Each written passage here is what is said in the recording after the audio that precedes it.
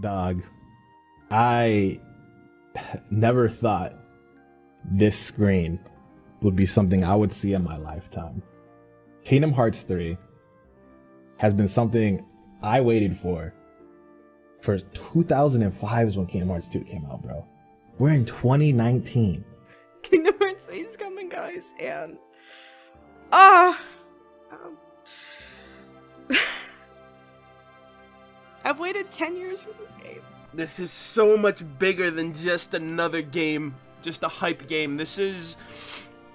I've put so much of my life into this game, so much of my heart into this game. You can tell you're really involved with the story when it oh really oh my immersed god, you. I was This is in a big deal. middle It's school. not.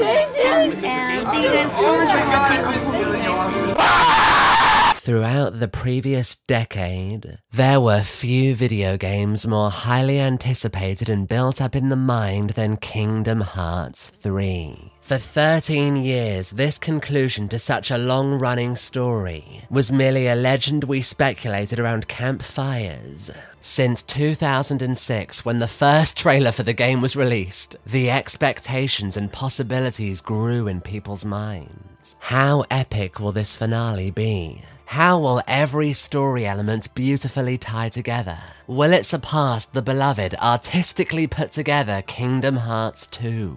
Fanatics everywhere made their predictions on when the game would release. 2015, perhaps? Nope. 2017? Sadly not. 2018? Yes! But actually, no. And it's coming out this year. It is coming out in 2018. In January 2019, after four games, three HD releases, a two hour tech demo, and one piece of shit, the unthinkable finally occurred. Kingdom Hearts 3 graced the world and divided the fan base more than I could ever describe. Kingdom Hearts 3 is the biggest letdown of this entire series. I loved Kingdom Hearts 3. My first playthrough was an absolute dream. I don't know if I can play Kingdom Hearts again, bro. I can't overstate how much I enjoyed the finale to Kingdom Hearts 3. The fires from both the lovers and naysayers could not be contained. Arguments were repeatedly and endlessly fired at the opposition, creating a deafening amount of noise. Kingdom Hearts 3 was disappointing. No, it wasn't. You just raised your expectations too high. Hey, is it me or were the bosses pretty boring and forgettable? Oh, well, I'm sorry. Not every game can be exactly like Kingdom Hearts 2. Kingdom Hearts 3 bad. Kingdom Hearts 3 good. Kingdom Hearts 3 bad. Kingdom Hearts 3 good. Kingdom Hearts 3 bad. Kingdom Hearts 3 good. Kingdom Hearts 3 bad. Kingdom Hearts 3 good. Everybody, just shut up and stop hating all the time! By now, it's been years since Kingdom Hearts 3's initial release. My current save file is bordering on 200 hours. I've replayed the game multiple times. I've found every lucky emblem without taking to Google. I've thought about it, and thought about it, and thought about it. And finally, I can bring you my opinion. The only opinion that matters. Kingdom Hearts 3 is a fantastic game with an awful finale. This video will not be analysing Kingdom Hearts 3 as a whole. This is me giving a cosmically lengthy takedown of a conclusion to a saga that left me feeling hollow, unsatisfied, and bitter. I'm not going to sugarcoat a single detail from start to finish. Every single moment that makes up this game's lackluster final act, no matter how insignificant it may seem, will be addressed here and now. A little ambitious, wouldn't you say? But there's a reason this video extends as far as it does. So if you're even mildly puzzled as to why anyone would dislike the story of this game, or you just want to have your opinion validated, my friend, make yourself comfortable, because we have a lot to wade through. Alright, roll that transition slide, baby!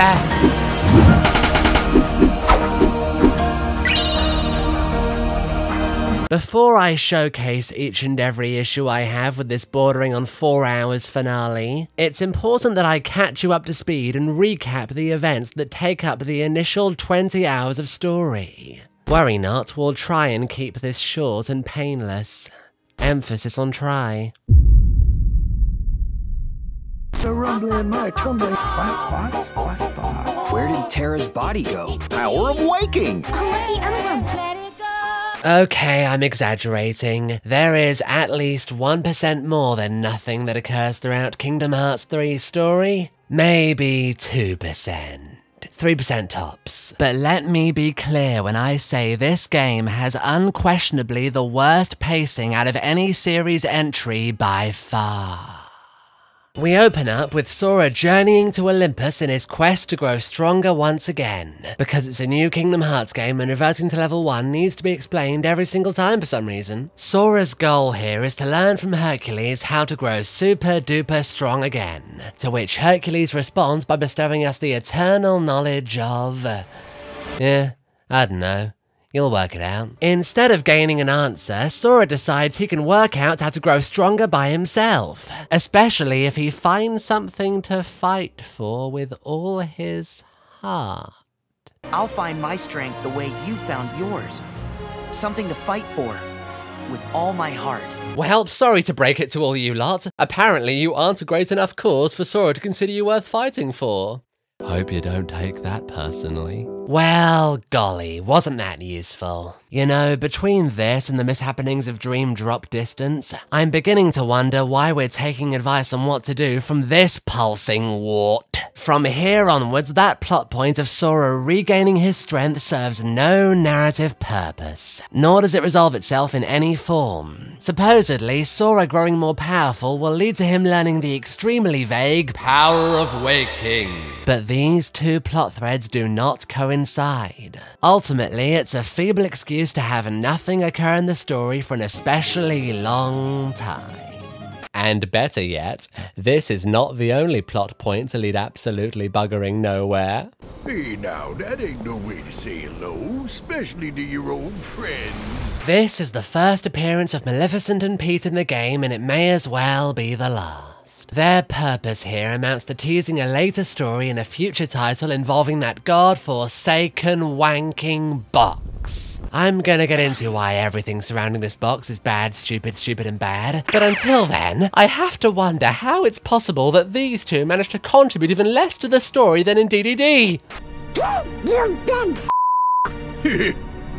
Works for me. Do you remember back in Kingdom Hearts 2? When an endless horde of Heartless were closing in on the protagonists, only for Maleficent and Pete to spring to the defense, diving headfirst into battle for the greater good. I bring that up because that scene did wonders for both characters, and since then they've just moseyed around teasing a purpose but never actually having one. From then on, we bounce from Disney World to Disney World where nothing of note happens during or in between. An organization member appears, spouts a whole lot of nothing, fucks off, rinse and repeat.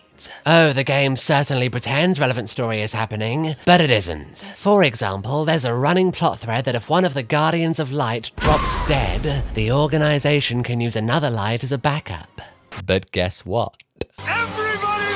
So wasn't that a worthwhile necessary plot point? Similarly, once we get to the fan favourite Frozen world, dearest darling Larxene teases a plot thread involving the brand new Princesses of Heart. Why do we need new Princesses of Heart? What was wrong with the old bunch? I think Tetsuya Nomura was asking the same question as he wrote the script, but never came up with an answer. And then we get to World's End and once again the fabled mysterious box. Luxord jumps back into the charade in search of the box, and if you've seen the third Pirates of the Caribbean movie, you can work out how this'll go. They hear about a box, they believe it may be what they're searching for. Surprise! It contains Davy Jones's heart. Guess that was all for naught. One might say, all for Xehanort. The only reason any organization member shows up in a Disney World is so they can say, hello, I exist, look forward to fighting me at the end. Cheerio. Narratively, their cameos serve extremely little point. And before anyone says, but didn't Kingdom Hearts 2 do the same thing? No. For one thing, organization members appeared in Disney World significantly less often in order to make their appearances more noteworthy. But more importantly, for the most part, their arrival served a purpose. The initial interaction with Demyx is a clever method of manipulating the player into thinking that this guy is a pushover. Run, run away! And in the end, he wasn't. Sora confusing Xigbar for Riku is a strong piece of emotional foreshadowing. These moments felt important and contributed to the pacing of the story. Also, you actually got to battle them earlier on, something this game really could have benefited from. This time around, there are only two interactions with an organization member in a Disney World that hold a fecal stain of value. The first features a possessed Riku who monologues about the success of the replica program. More on that later. And the other is with Vanitas because, well, you know, don't you? But otherwise, there is nothing going on in the Disney portion of the game that matters.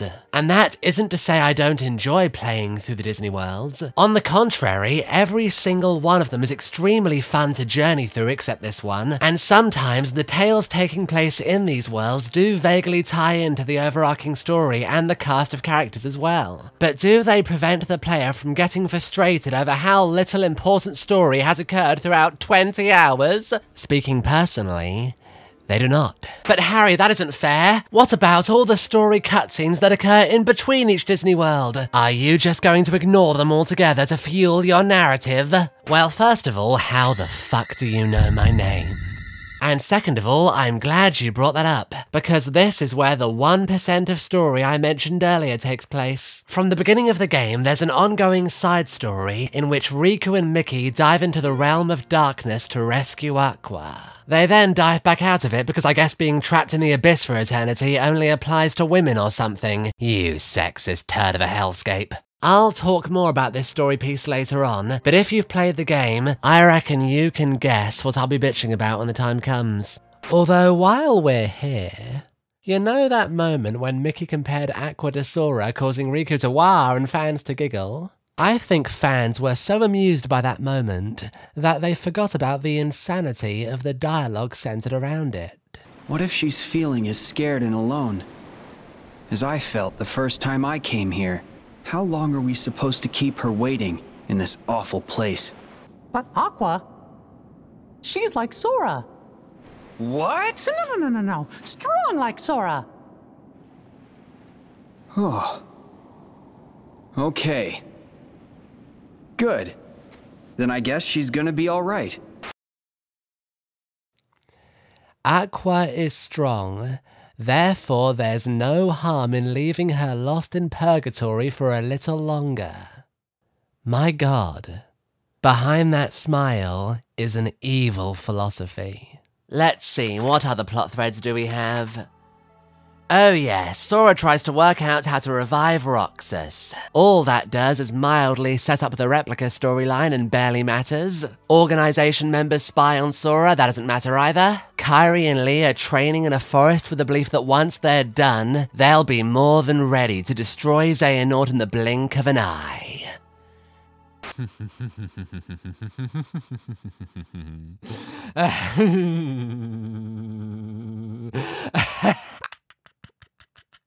Oh.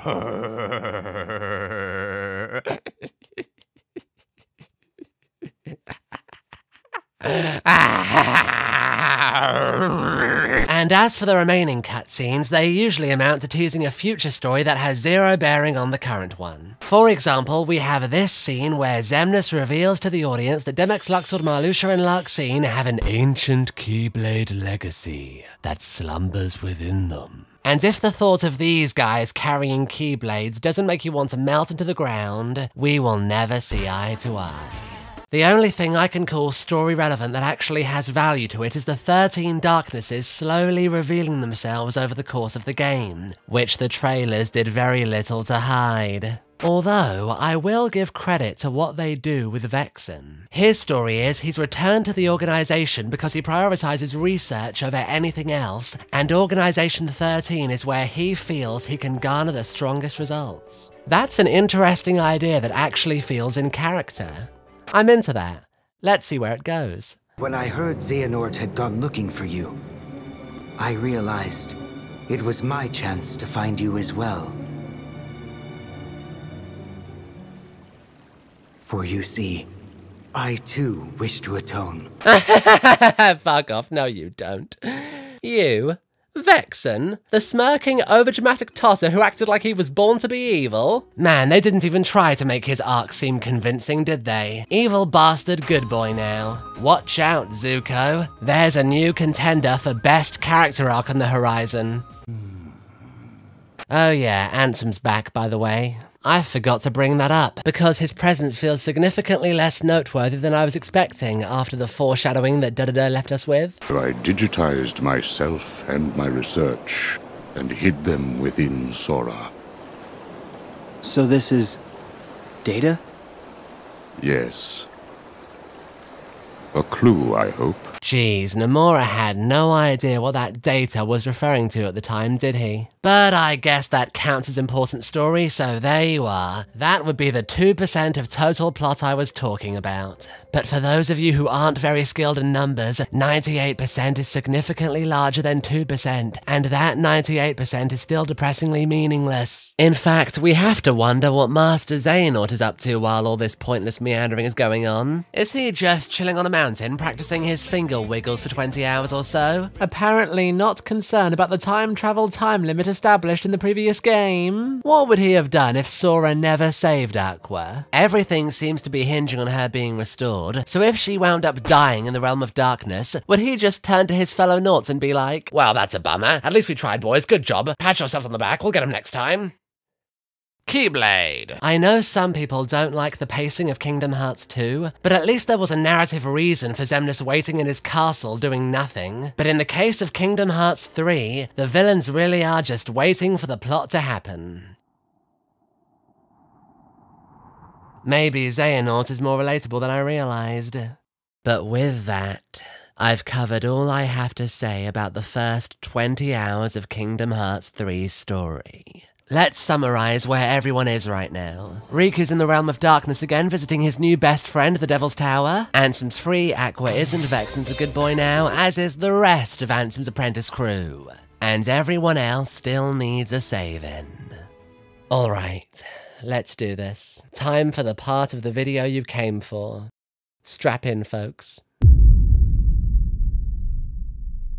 Here's why Kingdom Hearts 3's finale was a beautiful masterpiece where everything came together in a wonderfully satisfying conclusion, except it wasn't. Haha, fooled you. It begins with Sora finally being able to buzz off to the realm of darkness and save Aqua. How does he do so? Why, with the power of seven words. Seven very, very annoying words. May my heart be our guiding key. Alright, this is gonna sound obnoxiously nitpicky, and it kind of is, but it's important that we understand why this bootleg Star Wars slogan feels entirely forced and unnatural. And to do so, I'm going to compare it to one of the most iconic lines of the series. I've become part of their heart just as they've become a part of mine. And if they think of me now and then, if they don't forget me, then our hearts will be one. I don't need a weapon. My friends are my power. On the surface, these two lines appear to be built with the same purpose. They're both needlessly serious mumbo jumbo that primarily serves to motivate the main character. But here's the difference. My friends are my power carries weight and doesn't detract from the writing. Friendship is the encompassing theme of the series. Every vital aspect of the characters and their stories relates to friendship in at least some manner. And this rings true for Sora more than any other. So when he grandiosely delivers that line in Kingdom Hearts 1 and again in Da Da Da, the audience feels the power in what is ultimately a cheesy moment, especially in the latter. I'm proud to be a small part of something bigger. The people it did choose. my friends. They are my power! Now, here are the issues with the other line. Kingdom Hearts has a history of adding in elements, pretending they've always been a part of the franchise, but rarely is it as on the nose as this. May your heart be your guiding key. Huh? What's that? Master Yen Sid always said that. Goofy. According to Kingdom Hearts 2, you and Donald didn't even know where Yen Sid lived. Master Yen Sid lives here? In addition to how shoehorned in the line is, the game tries so painstakingly hard to convince you that it's deep and meaningful and matters oh so much to the franchise. And it doesn't. In fact, do you want to know what the line actually means? Well, here you go. Hey, the script says I need to go here now, so I guess I'll go do that. Huzzah! A portal appeared! It's a vehicle to get Sora to wherever the story wants him to be at that point. Nothing more, nothing less. When it comes to moving the plot forward, this solution is so extraordinarily cheap that Sora must have paid an American healthcare bill at some point, and it was all he could afford. Alright, that's more than enough rambling about eight measly syllables. What happens next, you ask, even though you already know? Because why else would you be watching this analysis? The gang bounces over to Destiny Islands, and every single player universally echoes the same statement. Let us explore Destiny Islands, you fucking swollen verucas. But we don't. We spend two minutes in a Destiny Islands cutscene and then it's never seen again. And it's at this point that I realized Square Enix doesn't understand what Kingdom Hearts fans desire. When you ask a die-hard Kingdom Hearts fan what their favourite world is, most of them probably won't answer with a Disney World. They'll more likely answer Twilight Town, or Traverse Town, or Radiant Garden, or the world that never was. Yet, considering how small or non-existent the playability of these worlds are here, Square Enix evidently disagrees. In the years leading up to Kingdom Hearts 3's release, there was constant speculation over where the final battle would take place. Of course, we knew we'd fight in the Keyblade Graveyard, but that doesn't mean the final battle would occur there. The most popular suggestion was naturally Kingdom Hearts itself, but I distinctly remember plenty of yearning for a conclusion set on Destiny Islands. And rightfully so, that would be a perfect thematical location for the story's denouement. And better yet, we wouldn't have to buy the DLC and access the data greeting mode, just so we can run around a minuscule amount of the tossing location in a pitiful attempt to fulfill what we longed for. I'm not saying Destiny Islands should have closed this saga, but it would have offered more emotional resonance than a barely established, entirely unexplorable world. Let's try and stay focused. So we fast forward through some dialogue and it's time to once again play as Riku, fighting against the most critically acclaimed boss fight of all time for the 78th round. And then towards the end of the battle, a command appears. The command is named Sora. And this command summarizes half of the issues with this final act. Sora is a spotlight stealer. Almost every contribution throughout this game's story is committed by Sora. Sora bursts in to save Aqua. Sora is the only playable character throughout every final boss fight from here on apart from this one, and he's the only character who gets the amount of screen time he deserves. Now the average person might say that of course the main character will be the one to save the day. What did I expect? I didn't expect Riku and Mickey to serve no purpose in their mission throughout the story. This ongoing plot thread in which both characters repeatedly try to rescue Aqua is devoid of value because Golden Boy Sora managed to get the job done without learning anything new. And in all honesty, Riku as a whole just isn't very engaging in this game. None of the crushing snark and one-liners from previous entries is present here, and because his character arc finished with da-da-da, he isn't given a struggle that compels the player.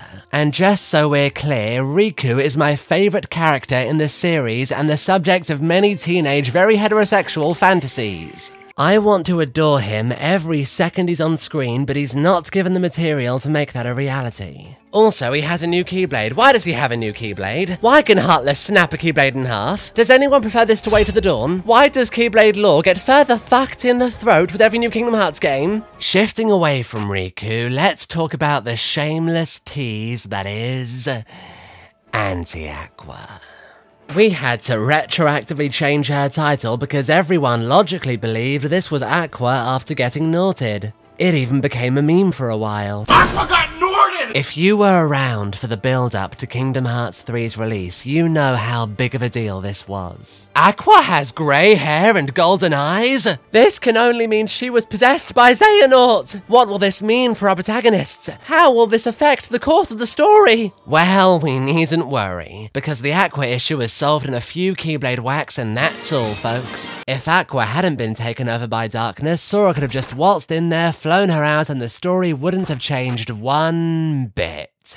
Hurrah. I wouldn't have so much of an issue with this if it wasn't for the emphasis the trailers placed on her. You don't conclude your trailer by threatening a popular character if the threat doesn't matter. In fact, the biggest takeaway from Kingdom Hearts 3 is that Square Enix doesn't know when to fucking quit with its trailers. Hey, remember that time when Square released a video called Kingdom Hearts 3 Final Battle Trailer? Final bloody battle trailer? Imagine if in 2006 a trailer for Kingdom Hearts 2 came out that was just a highlight reel of characters dying as well as the boss rush against Xemnas. What a sensible idea that would be. Anyway, where were we? Oh yeah. One pretty great fight against Aqualator, and Sora and Riku conjure a rainbow Keyblade with a Paopu fruit on the end of it. Hmm. Somehow, this frees Aqua from possession and bibbity bobbity boo, she's back on Destiny Islands. When did they fall to darkness?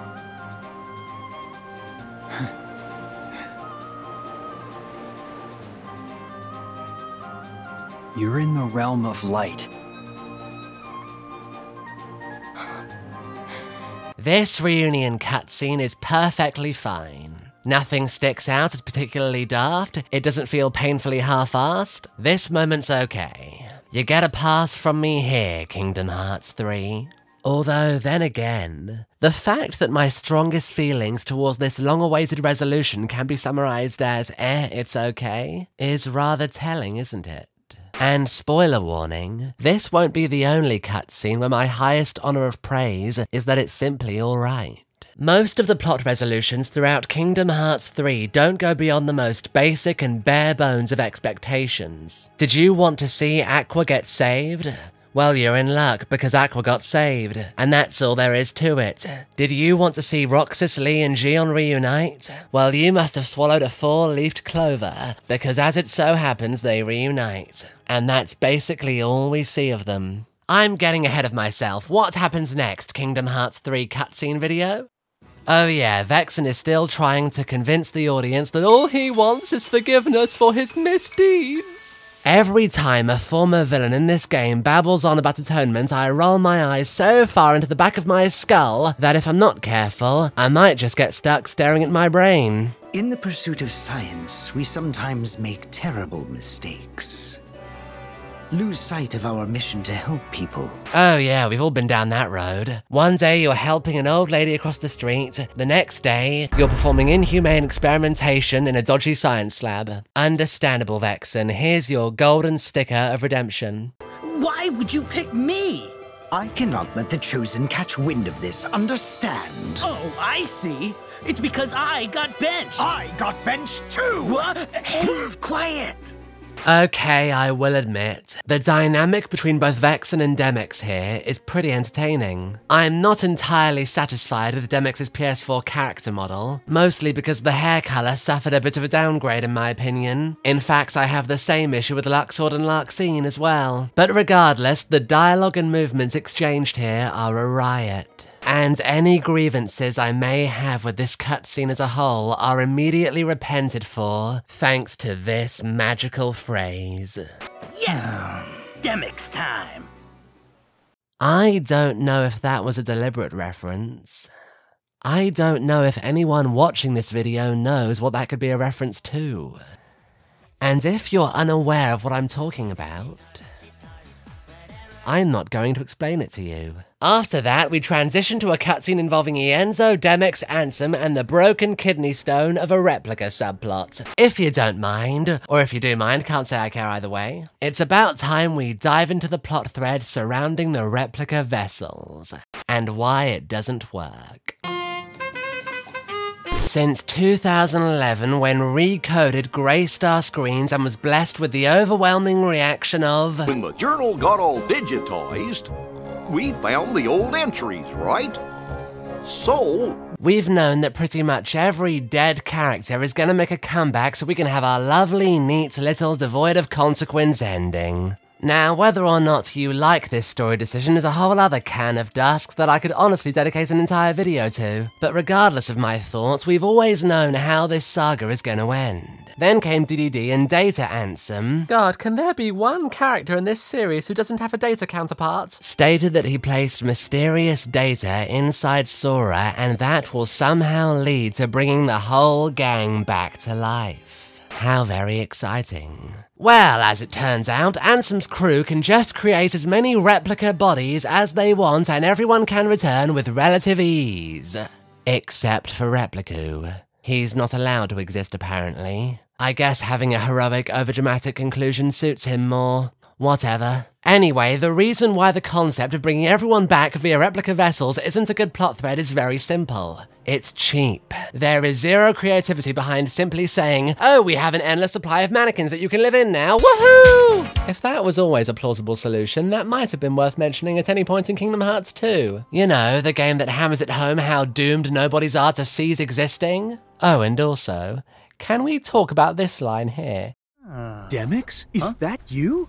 How many other skinny cloak wearing mullet sporters are you familiar with? Man, a decade in the organization together and Zexion barely even knew Demyx existed. Also, I don't really want to talk about this, but I have to. It's time to address Ansem's apprentices and their redemptions. A lot of people like these fellas, particularly Ienzo. And to those people, I have to ask have you read the secret Ansem reports from Kingdom Hearts 2 recently? You know, the ones where we learn they repeatedly performed incredibly dangerous experiments on innocent human beings, followed by casting their teacher into the realm of nothingness forever and ever? Forgive my pettiness, but these readings don't exactly paint them as redeemable. And this is, of course, not taking into account absolutely everything they're responsible for throughout the entirety of their decade in the organization. But Harry, they didn't have hearts and they were manipulated, so that clears them of all guilt.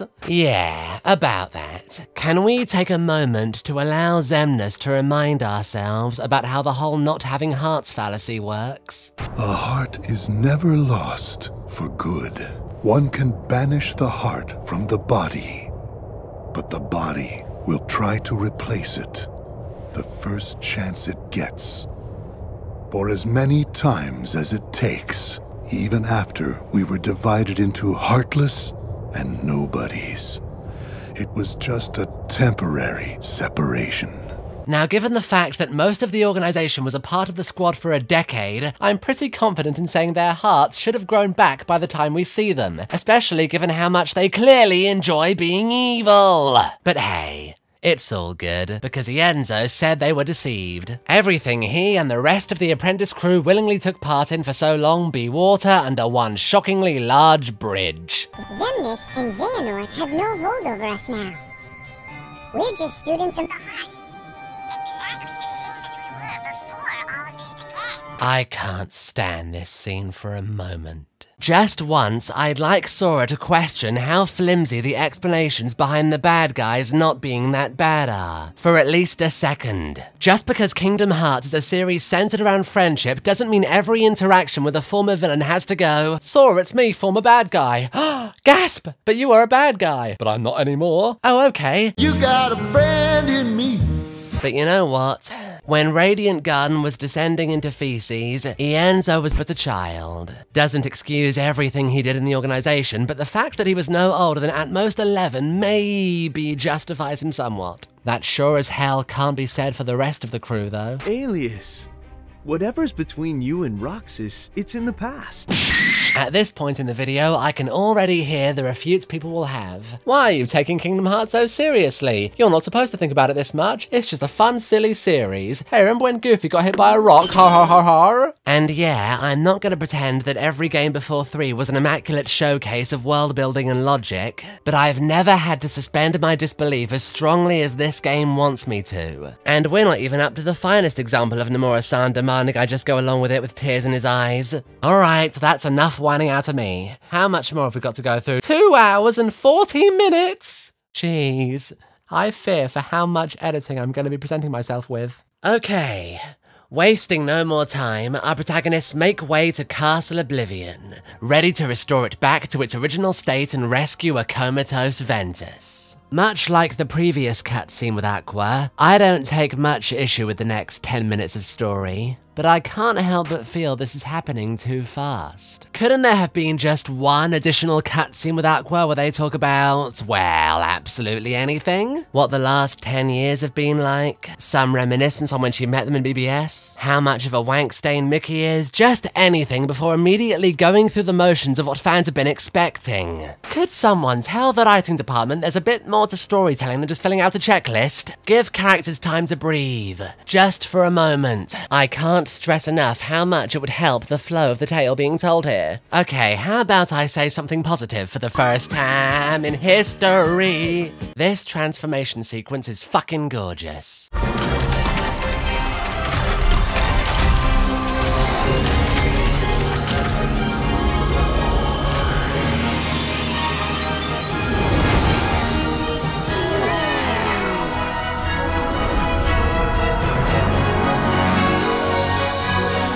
It would have been extraordinarily easy for there to just be a flash of a bright light and the land departures back to normal. But nope, they went the whole hog in showcasing its reconstruction piece by piece. I may be a whiny little miscarriage, but I give credit where credit's due and it absolutely is here. And we finally get to explore an original non-Disney world in Kingdom Hearts 3! And it's over in about seven seconds. Why do you detest me so much, Nomura? But either way, after years of anticipation, we finally reach the chair in which Ven resides. I'm sorry it took so long. Jokes aside, this moment's cute. I've never been as big a fan of Aqua as a lot of fans seem to be, mostly because when it comes to liking characters, I prefer an engaging personality rather than large breasts. But 0.2 did soften me on her character quite a lot, and as a result, I enjoy this cutscene well enough. For once, you won't find me complaining. But the sweetness of the moment can't last, for it's time for the entrance of the most overly edgy, cross-dressing tosser the series will ever introduce, Vanitas. Oh, I'm sorry to interrupt your touching reunion. You know, I do admire this guy, trying to appear cool and badass when this happened a few hours prior. Anyway, Mr. Vanny Boy has come to stop the gang from restoring his brother. And the fact that he's suddenly referring to Ventus as a sibling must have made a lot of shippers uncomfortable. But anyway, Sora gets ready for combat, and let's take a moment to observe how pathetic the main hero's reaction time has become. Uh,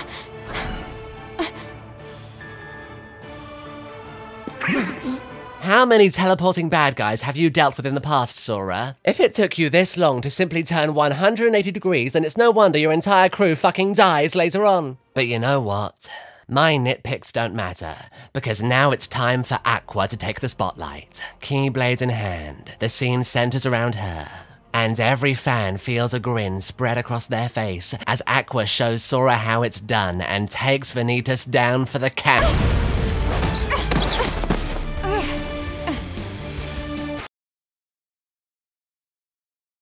Seriously? If only this was the last time our blue-haired role model gives a disappointing performance. Sorry, but you've seen me too weak, too often. But fear not, my friends. In a moment of pure worry, Sora desperately yells Aqua's name and in doing so, feels his heart connect with Ventus, finally restoring him. This sequence goes on for two minutes. Yes, apparently they still saved her in time. Very considerate of Vanitas to perform the mannequin challenge three years late. So evidently outnumbered, Vanitas buggers off for the finale, and Sora and Ventus are finally introduced to each other in the flesh and blood. And this moment feels bizarrely casual and light-hearted. I get that keeping the atmosphere calm and less bombastic was probably the point, but it feels a little jarring. A child just woke up from 10 years of being comatose and Sora's first response is, Hey Ventus! At the very least, I would have imagined there'd be some backing music. But apparently that wasn't the vision. Uh, good morning, Ven. Good morning, Aqua. I like that line. Simplistic, but it's a good line. It's also the one single line I remember from Ventus in the entire game. And that might not be true for you watching this. But I don't imagine I'll be alone here. Good morning, Ven. Here we are, back in Yen Sid's tower, and can someone explain to me how Sora keeps bouncing from area to area? How did him and Aqua even locate Castle Oblivion in the first place? They only found it last time after falling into a world of chaos and nothingness. Anyway, the gang begins playing catch up with each other, filling in everyone on what's occurred in the story. And it's at this point that we gain the most unintentionally hilarious exchange of dialogue in the fucking game. Did you know Riku's a true Keyblade master now? That's wonderful. Good for you.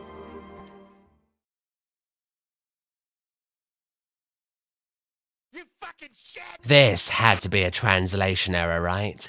That can't possibly be how the line was intended to come across. Just so we're clear, good for you is a thing you say when you have no idea what to respond with but want to remain positive. So what I'm gathering from this moment is was still bitter over Mickey not dashing in to save her sooner. That's it, that's canon now, you can't deny it. Also, why, pray tell, is this cutscene so stagnant? We're experiencing the next generation of Kingdom Hearts graphics, and yet everyone continues to stand extremely still, occasionally making the odd hand movement. There's nothing dynamic here at all, and again, I know I'm being nitpicky, but I said I was going to address everything, and this just feels bizarre. Especially when the game has repeatedly shown us what it's capable of. Not to mention, some of the gaps between dialogue exchanges are so drawn out that I'm left extremely perplexed. Trust me. I'm not giving up.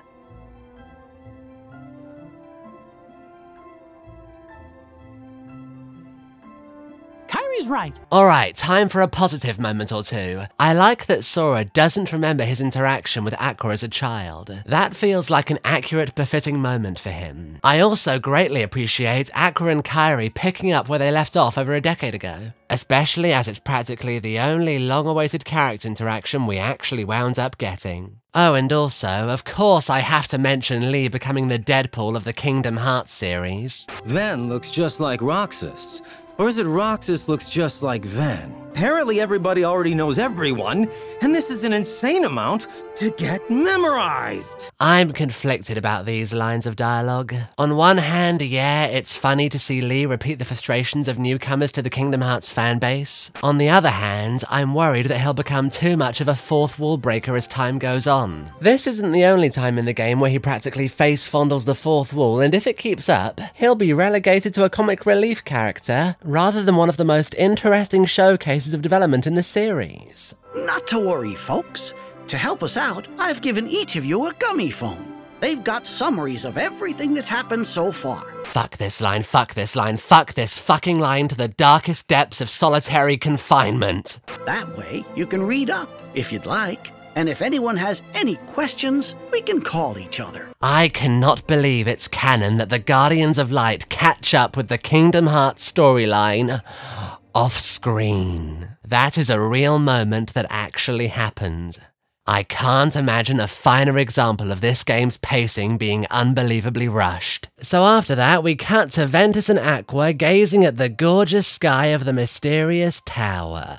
Man, I sure wish this area was playable, like it was in the trailers. Yeah, most of you forgot this was shown to us. I wish I forgot as well.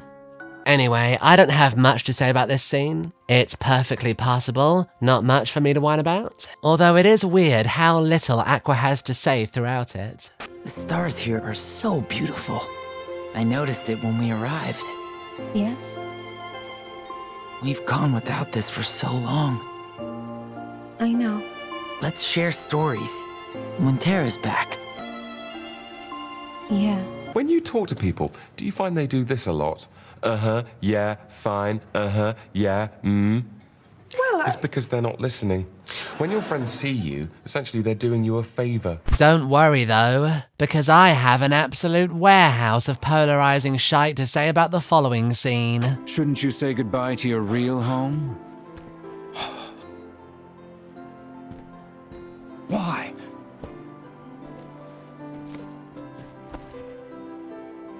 I don't expect a lot of my opinions to be universally accepted. When it comes to this game, there's no such thing as a universally agreed opinion. But I think this is my most divisive take in this entire novel of a video.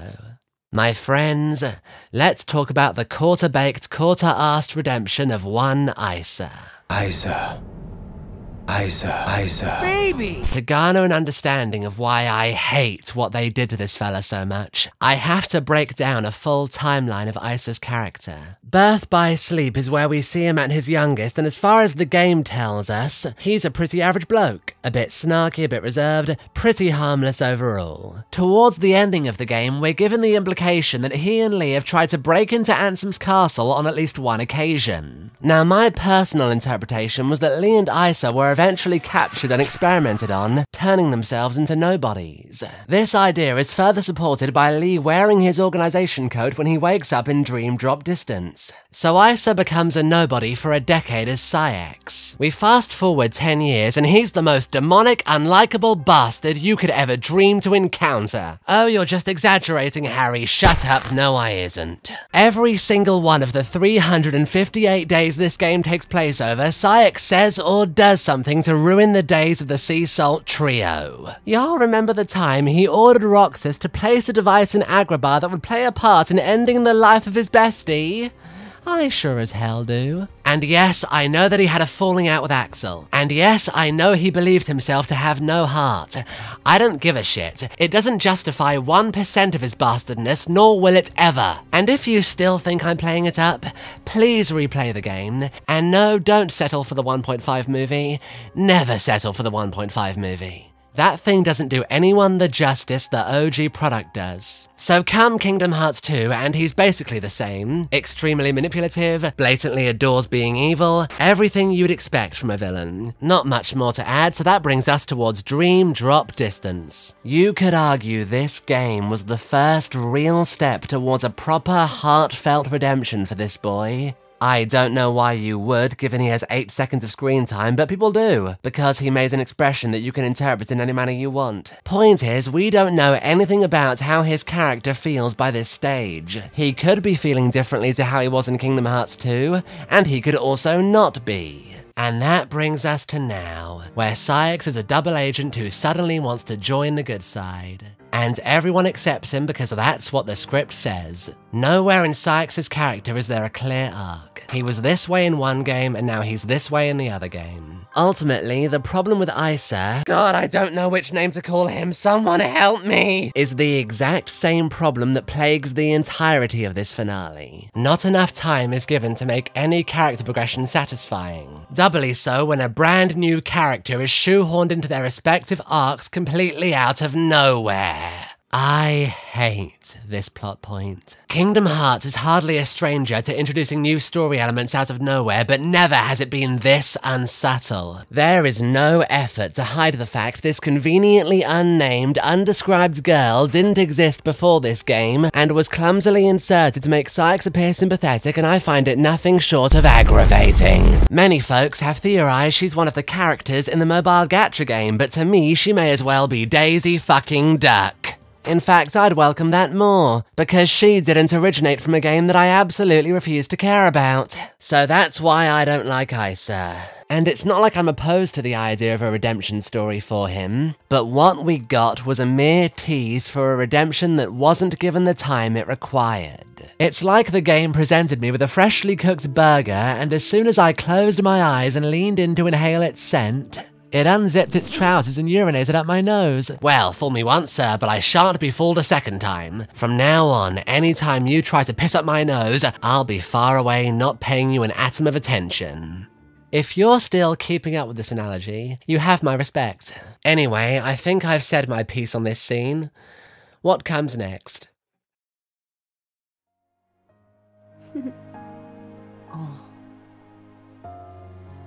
Oh, oh! I've been excited to talk about this one, ladies and gentlemen. Let's talk about the immensely anticipated sharing of Paopu fruit between Sora and Kairi.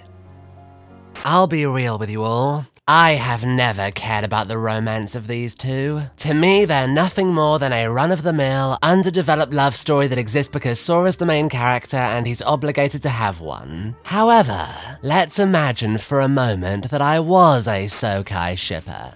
Let's imagine that I've been eagerly waiting for years and years on end to see this couple finally partake in the event, teased since 2002.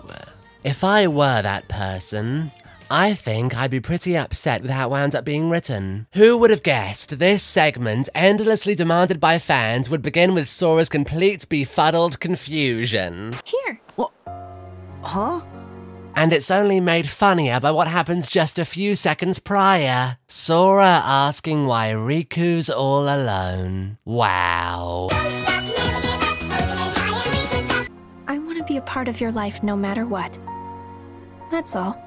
Okay, Kairi is clearly not looking in Sora's direction here. Forget sharing her life with him. There must be a fascinating seagull that she wants to declare her wedding vows with instead. Also, I thought they were going to share one Paopu fruit together, not have two between them. Was sharing the same piece of food too explicit for Disney? Alright, let's put the jokes aside for a moment.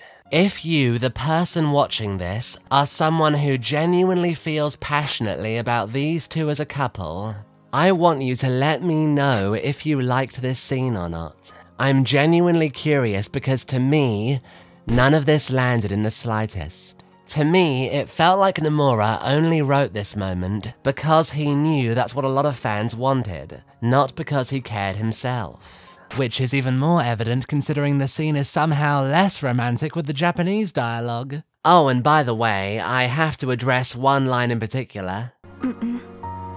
Let me keep you safe. There. Consider it addressed. Also, Riku and his replica share a moment. But I'm not done yet. Got one last thing to see through. Let's talk about that later. Oh, thank the fucking heavens, we're finally at the Keyblade Graveyard. And it only took 7,269 words of my essay to get us here. And the YouTube video only has two cocking hours to go through. My god, save me! so, after all this time, our heroes finally enter the fated land, the Keyblade Graveyard. The gang's in full serious mode, giving dramatic nod after dramatic nod. When out of the blue, the head honcho of the Nort fam rears his smooth skull. When the darkness falls, will we be found worthy of the precious light the legend speaks of? Or will all of creation be instead returned to the shadows? I love the fact that Xehanort Heartless teleports in to continue Master Xehanort's sentence, as if they repeatedly rehearsed this moment. Alright, listen up, Heartless me. When I ask the question in regards to finding the precious light, that's when you pop to the right and deliver your line. Okay, but when you say the right, do you mean your right or their right? My right, of course, idiot. But how far apart do you want us to be? I'd hate to risk stepping on your tippy toes. Look, we'll head on down to the location later and draw some X's for us to stand on, alright? But won't that look bizarre? Can you quit your whining for one bastarding second? Uh, excuse me, Xehanort pal, but can I not teleport right next to the young version of you? Oh, and why not? Well, uh, we're not exactly equal in height. I'm gonna look pretty pathetic by comparison. Oh, is little evil Sora feeling a bit insecure? Tough come. At least your voice hasn't had a noticeable drop in quality. So after the Xehanorts take the Drama Queen trophy, we begin to hear a very familiar piece of music.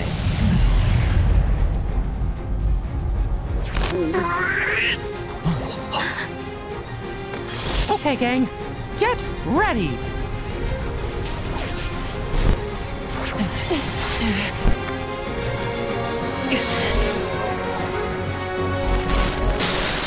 Ever since Kingdom Hearts 3 was announced, it was inevitable there would be at least one fight similar in scale to the Thousand Heartless battle from Kingdom Hearts 2. I mean, the game just wouldn't feel right without it. The Thousand Heartless battle is perhaps the most blatant contender for the highlight of the entire series. It's an unforgettable segment that had every child and also grown adult bouncing up and down in their chairs from uncontainable excitement. So naturally, when this battle was implied in the trailer, fans were overwhelmed with anticipation of which they could once again barely contain. And now the game has been out for a few years, it feels like not one person ever cares to talk about it. It's as if it barely left any impression at all.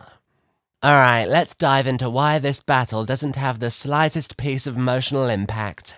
Now, let's be fair here. There are people who felt underwhelmed by the original epic Heartless Slaughter. All you gotta do is mash one button to wipe out the same two enemies over and over. It's not complex, it's not particularly challenging, it's as basic as combat can get. And you know what? That's an entirely valid critique to offer. But here's the thing. The Thousand Heartless battle isn't amazing because of the actual battle. It's amazing because of the phenomenal build-up towards it.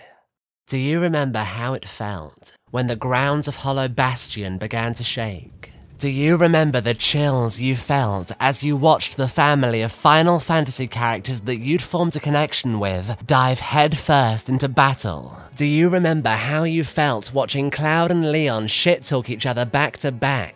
Do you remember how it felt to get thrust into one of the most fantastic battles of the series against one of the most unexpectedly awesome characters? Do you remember how it felt watching Mickey Mouse somehow transform into the most badass character of all time? And no, I'm not being sarcastic. How fucking dare you assume that? Do you remember how it felt to battle alongside every single one of your Final Fantasy buddies?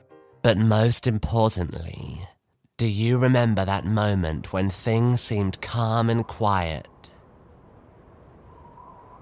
And then all of a sudden, the music fires up into action more than ever before. An army of Heartless surround them from every corner.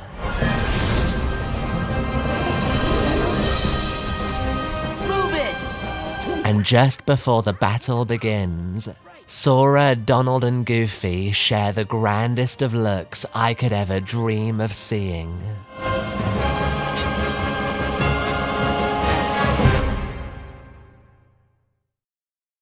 It might be cheesy, but it makes me giddy just thinking about it. Now, how did Kingdom Hearts 3 handle this again? Oh yeah, they appear out of nowhere and then they're gone forever. 10 out of 10 Square Enix, amazing job.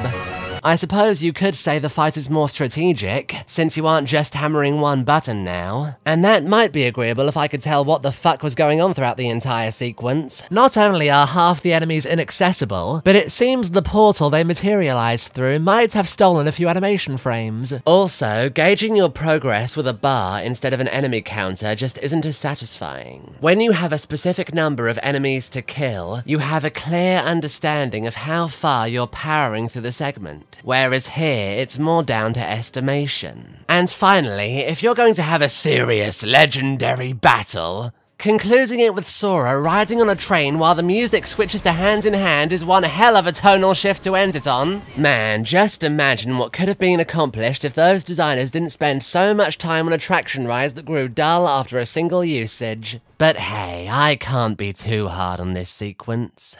Not when it preludes one of the most embarrassing cutscenes in Kingdom Hearts history. Before you even face the 13, every last one of you will be torn heart from body.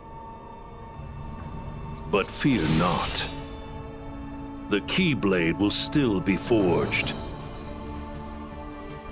We're not gonna lose to you. We stand together.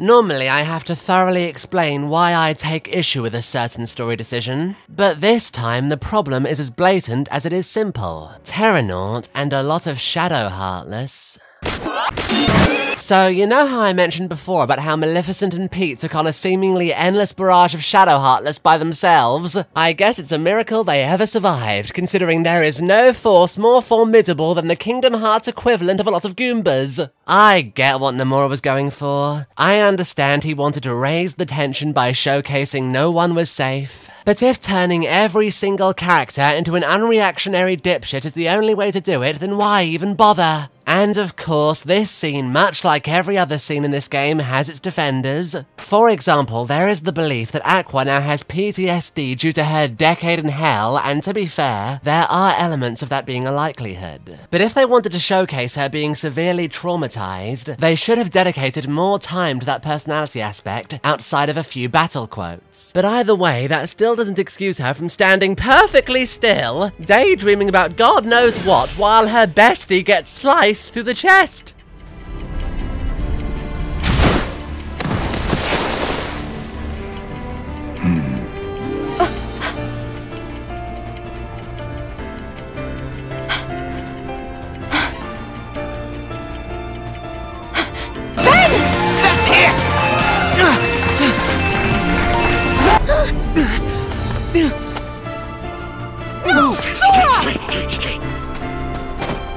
I'm gonna be honest here. When Sora decided the best plan of action for protecting Kairi was to give her a cuddle, I was rooting for Terranort. If you're dumb enough to go for a hug in a situation like this, you deserve to be sliced in half. And again, I get what Nomura was intending. But if you have to make your character's brain dead for the moment to occur, any emotional impact is ruined forever.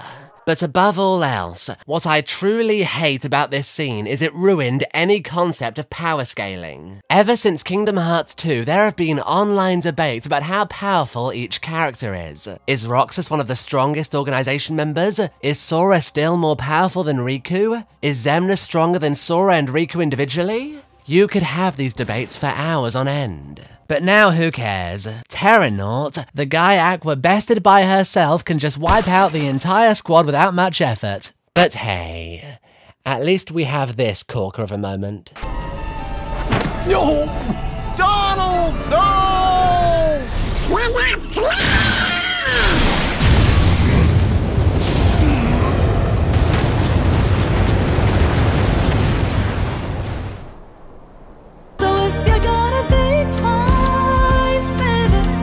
So it's not all bad. But anyway, after everyone gets gobbled up, we have a quick cut to the most bizarre, pretentious game of chess ever concocted, followed by Sora waking up in the afterlife. Sort of. My heart and body perished? Something is holding you here, refusing to let you go.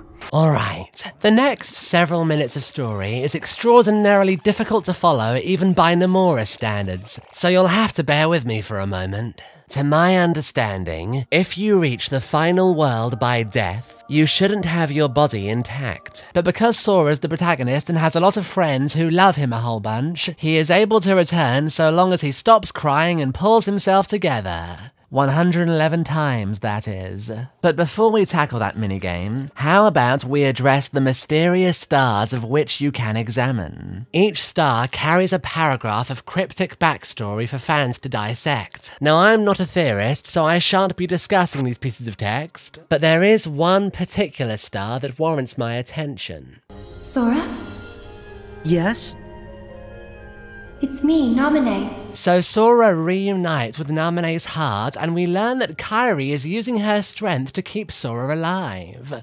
Whatever that means. The conversation then shifts to Namine herself, as she feels very upset over Roxas being a more popular character than her. Man, if Namine has feelings of inadequacy due to fan reception, just imagine how Kairi feels. And finally, Namine reveals that she's been shifting through memories and doing so has led her to Terra's lingering will. By tracing a connection with him, she can bring him to the Keyblade Graveyard, where he will help alter the events that previously took place. No, I don't understand it either, but just go with it, please. So now we have an explanation for how the Lingering Will appears later on. I realize a lot of players were confused by this sequence, primarily because this entire cutscene with Namine is optional. A later patch made it mandatory, but when the game first released, you could very easily walk straight past it and therefore have no understanding of this entire event. In fact, this story thread is double optional, because Namine and Terra communicating initially began in a moment that was exclusive content in a fucking Kingdom Hearts concert. Yes, really. Why couldn't I have been a die-hard fan of a different video game franchise instead? And I'm not even gonna bother talking about Chirithy, because I'm pretty sure it's related to the mobile gacha game, and I don't want to talk about the mobile gacha game. Oh, and also, can we appreciate that the background music here is a remix of the fucking Dream Eater minigame theme from DDD? The name's Chirithy. Truly, there is nothing better to represent having just experienced death. So after Sora has put himself back together, he's ready to rescue everyone else using the power of waking. Because if you say it enough times, it might start to actually mean something.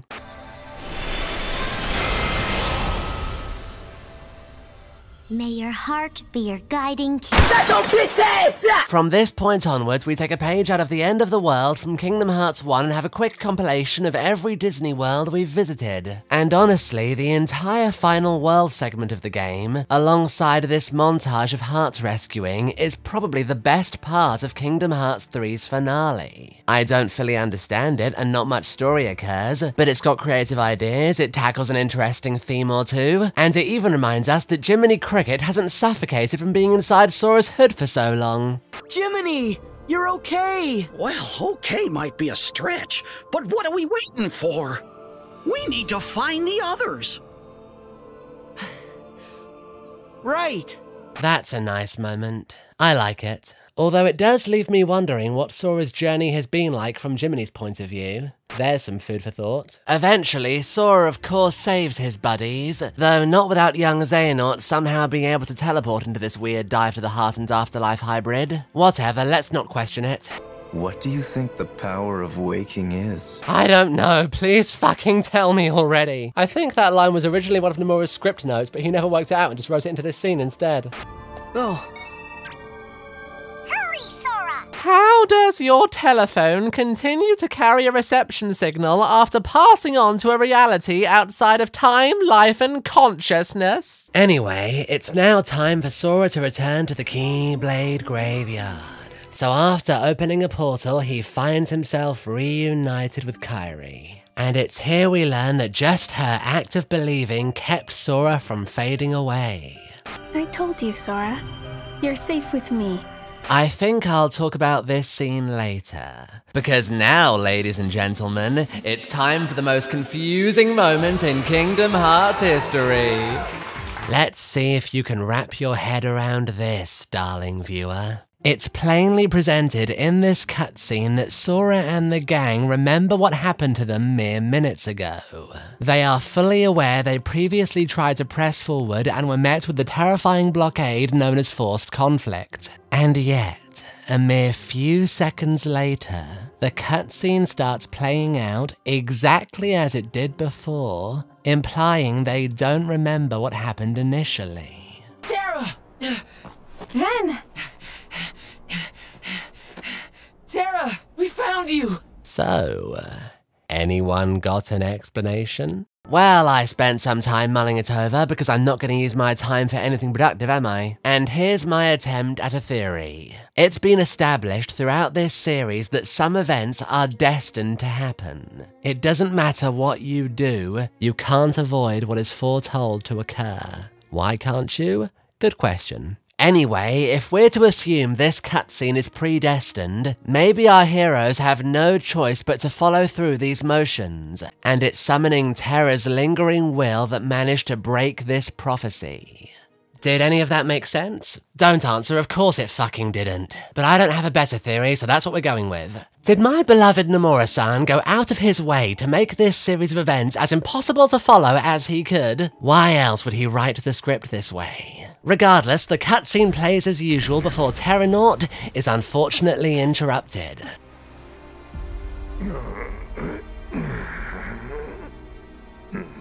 In comes Lingering Will, stepping into the fray like a champ. Got you, Xehanort. For some reason, he can talk now, despite not being able to in Kingdom Hearts 2, but who cares? Despite having no body, this suit of armor is the only character, or human character anyway, who tries to fight back. So go on, fight that man up, homeboy! But the excitement doesn't end there, folks, because it's here we get yet another fight with the most critically beloved boss the series has ever known.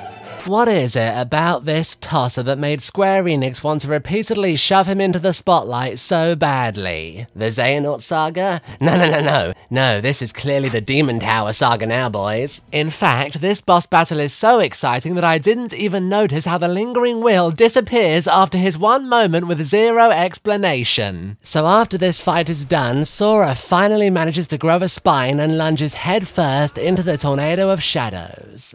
And in doing so, he meets the last person he'd ever expect to encounter.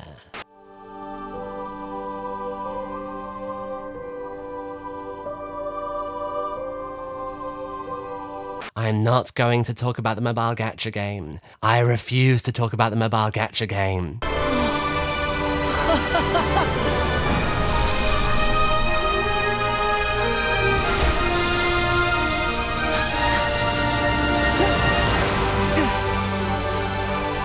I don't want to talk about the mobile gacha game. I don't want to talk about the mobile gacha game. I don't want to talk about the mobile gacha game. I don't want to. Alright, let's get this over with. Kingdom Hearts Unchained X slash Union Cross is a game set hundreds of years before the franchise began, tackling the ancient Keyblade War. The characters are boring, and the gameplay is dull, the story spans over a thousand pointless filler quests, character backstories are annoyingly altered, and I routinely pretend it doesn't exist. The game has its fans, of course, but if you enjoy the story of Unchained, either you're subscribed to Everglow, or you're similar to a busy hospital. Because you have tons of patience.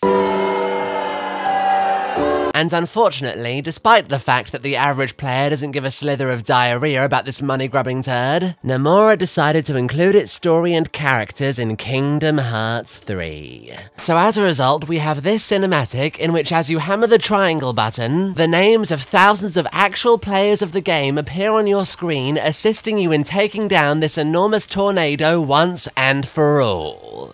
Okay, jokes aside, if you are a legitimate fan of Unchained Union Cross X, then maybe this segment was absolutely incredible for you. And if you feel that way, I genuinely understand. But that only applies to a small percentage of fans. When it comes to the rest of us, this sequence of events is a very pretty spectacle and nothing more. Sure, when you're in the moment it's pretty awesome, but the context of the cinematic being just a little bit shit prevents the scene from being up there with something like the laser dome from Kingdom Hearts 2. Also, if we're talking about the super duper not good gacha game, I suppose we may as well talk about the loathsome, mysterious box. Do you want to know what the laziest idea for a plot thread is? Having some sort of container and then just not saying what's inside it. It's the most boring, uncreative method of getting people interested. Anyone could fucking do this. In fact, I'm gonna do it right now. Okay, hello, uh, we're going to draw a door.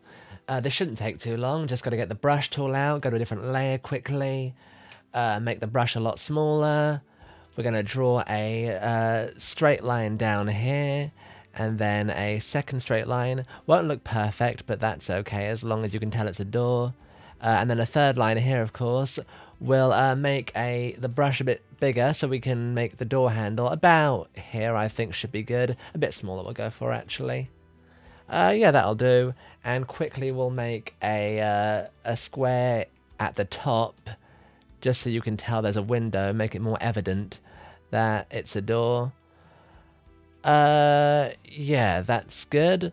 Uh, again, a bit rough around the edges, but you can tell ultimately that it's a door. So yeah, that's that's my door. I hope you like it.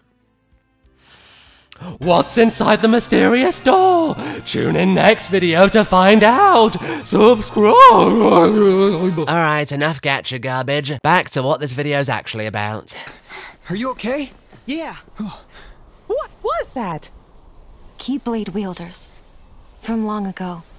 It's the light of the past. I love how that's Nomura's idea of an explanation. How did these ancient weapons suddenly garner sentience? Light of the past, we clear good, next scene. The dust once again clears itself and we're greeted with the possessed cross-dressing femboy version of Riku. He begins powering himself up, when all of a sudden, a ginormous silhouette of Master Xehanort apparates from above him.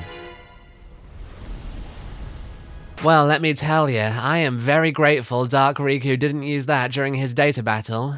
Could you even imagine? We gotta make sure you're not blundering your way toward a second failure. Wait, so the villains remember killing the Guardians of Light off as well? What the fuck even is this plot point? Whatever, let's just move on. Oh, more demon towers, hurrah! Do you think every morning Nomura looks in the mirror and smiles at himself for creating such an incredible boss? I'd believe it. Why are the Shadow Heartless still moving like that? When did the tutorial enemies suddenly become so impossibly difficult to render? Did someone at Square just spontaneously become nostalgic for the Atari 2600?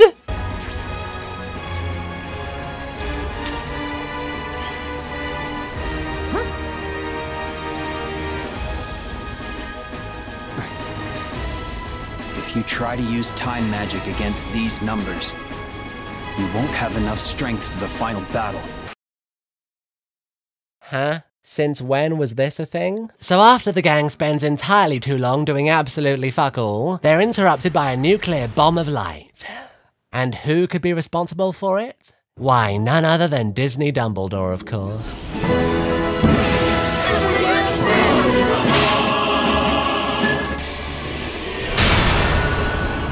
Will hold them all here for as long as I can.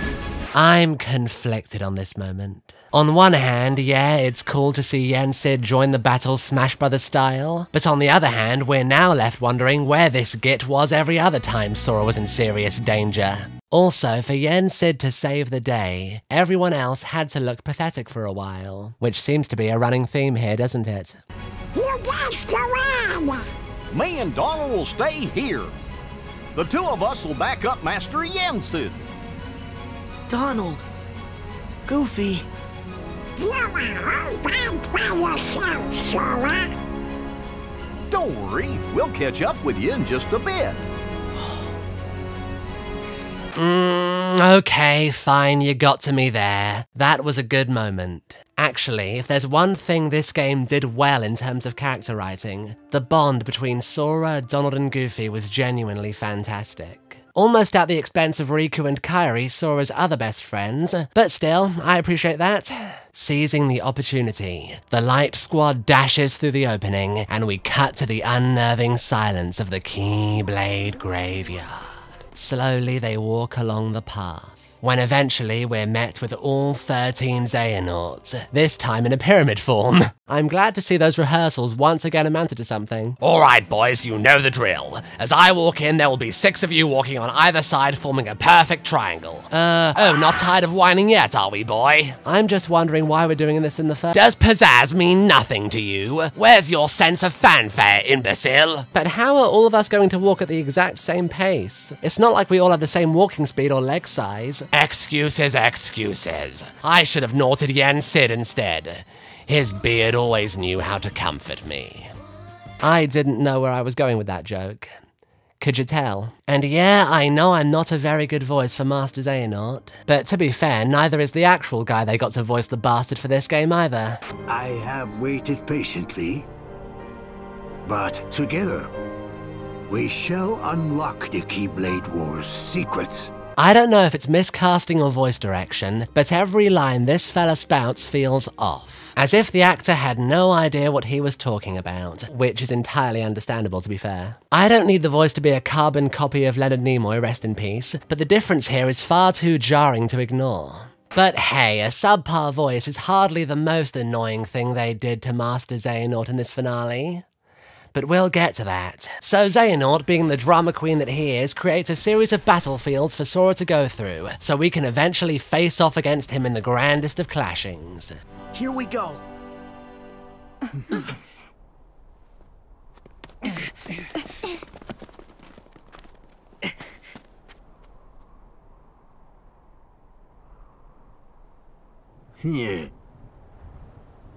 What the hell was that?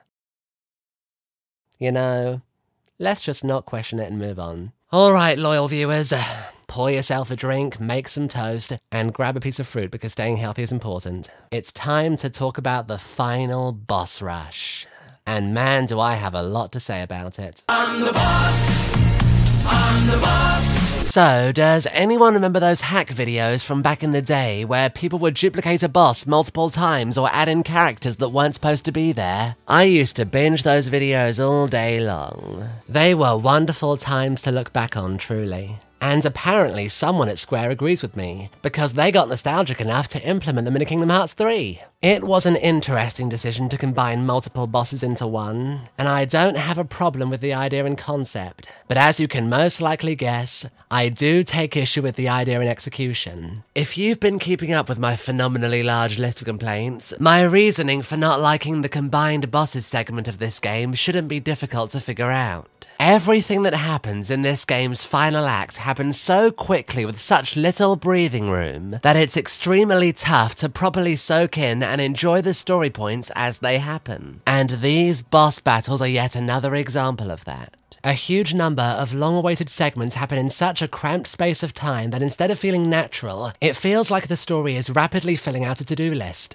Maybe in Nomura's mind, fighting 13 individual battles would take too long and grow tiring. But personally, if I'm experiencing an epic series finale, I want it to drag out as long as possible so I can appreciate everything that's thrown towards me. If Square really wanted to introduce a series of battles with multiple bosses at once, I think it should have been an optional post-game section, similar to the Colosseum of Kingdom Hearts 1 and 2. Hey, remember the Colosseum battles, guys? I sure do.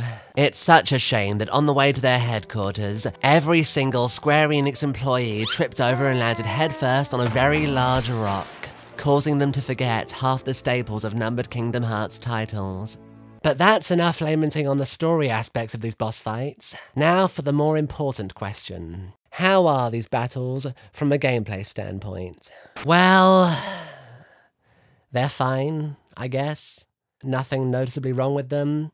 They play out pretty much as you'd expect, so that's cool. I suppose.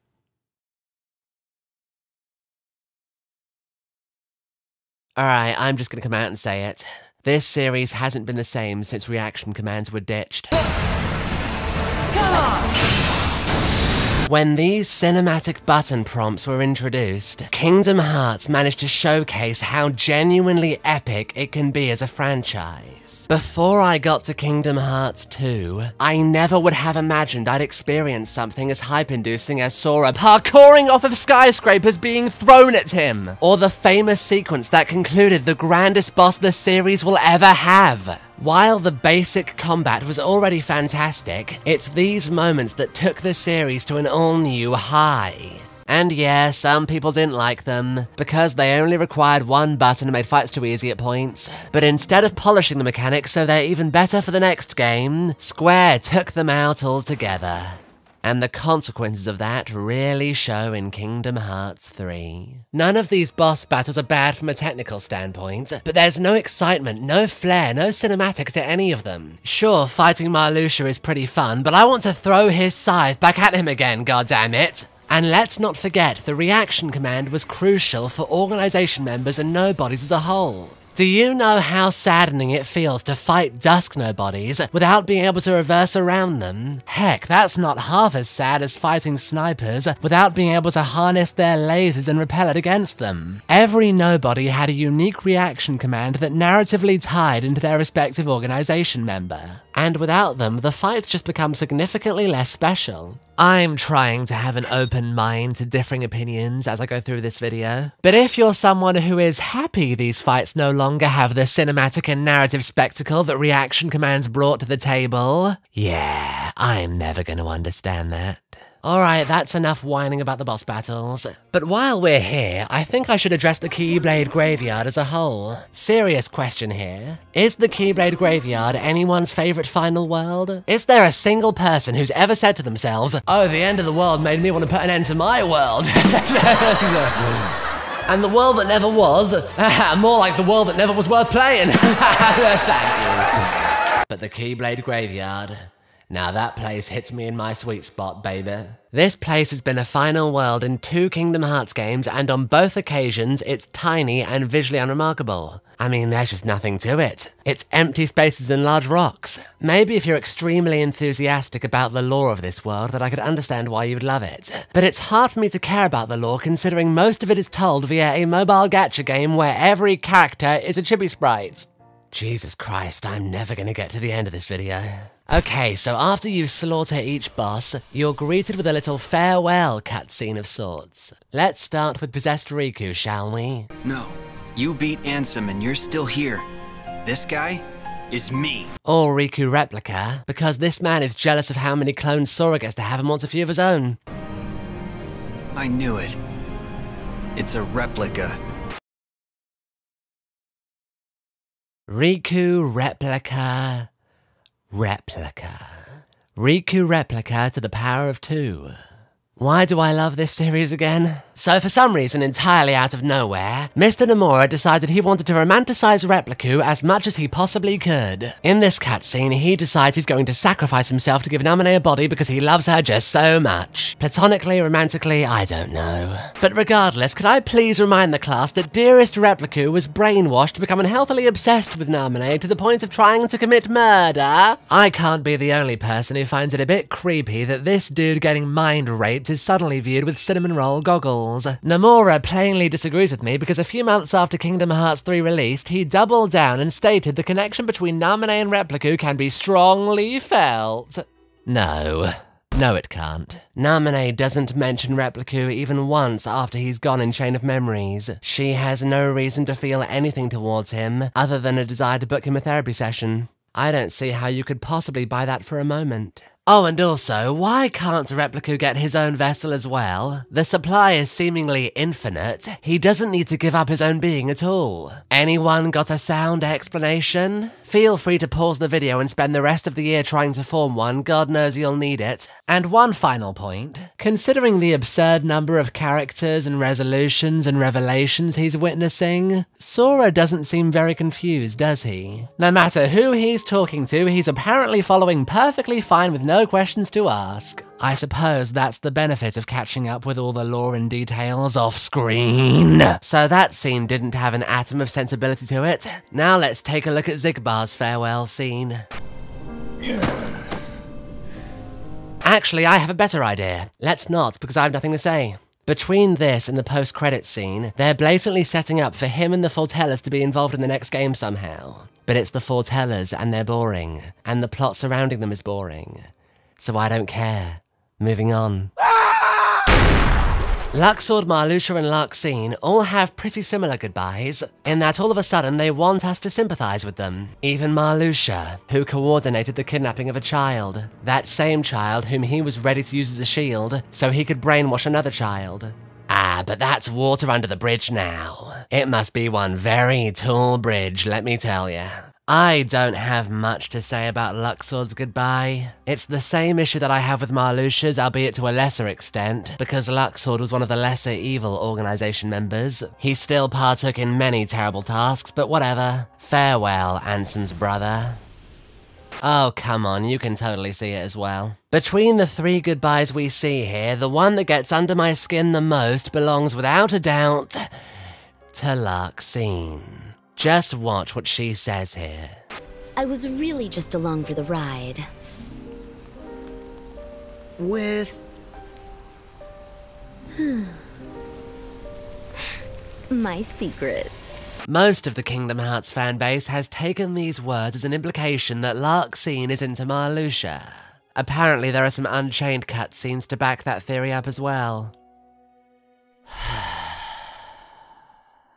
You know, the reason why Larxene is such a fantastic character is because she's a relentless, soul-crushing sadist who couldn't care less about anyone around her. So the sheer concept of her willingly becoming a tool for Xehanort just so she can have a shot at Flower Boy's cock doesn't sit too well with me. Also, Larxene and Marluxia barely interact in Chain of Memories. There's no discussion to be had over how much chemistry they may or may not have because not once on screen do we see them so much as speak with one another. Yeah, I I know they orchestrated an entire plot to storm the organization capital off screen, but in terms of what we see on screen, Larxene has more fucking chemistry with Demyx, and that's only because they despise each other.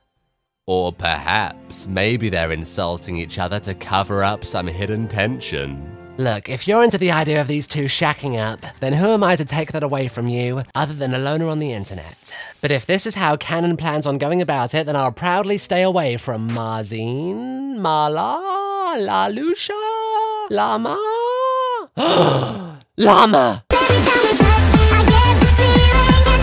Alright, just to clarify this point, because I may have confused it a little, I don't think canon will actually pursue romance because it never does. But romantic or platonic, my issues remain the same. Larxene deserves better than to become a puppet just to tag along with Marley. Oh, and one more thing. The YouTube video that showcases this cutscene has the most amazing title you will ever see. I know you're trying to get views, man. But come on. Anyway, homies and homers, now it's time to get to the juicy stuff. We cut to Sora, Lea, and Kairi battling against Saïx. Hey, I thought the moon, or an equivalent to the moon, had to be visible for Saïx to go berserk mode. Whatever, Xemnas appears shortly afterwards, he and Lea share a brief snarkathon, and then this happens. Is this supposed to be a Keyblade? Or is it some sort of joke?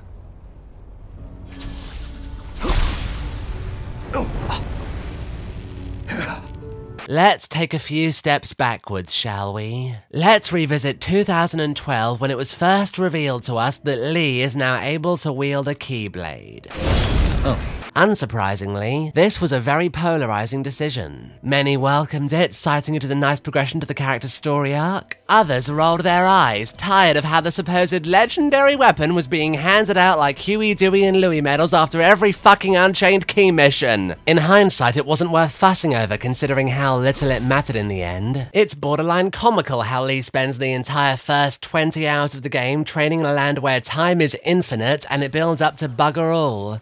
But as we all know, he's not the character who got the most embarrassing treatment, is he? Now it ends. I will purge that light in you with darkness. How, how, how, how are you doing that, Xion? His weapon looks bloody hot. How is your hand not catching fire right now? Who are you?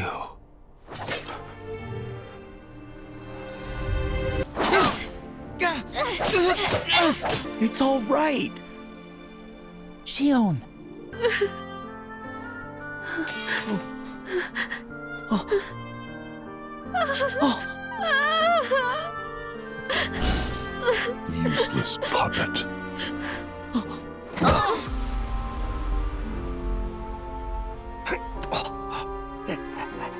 Xion!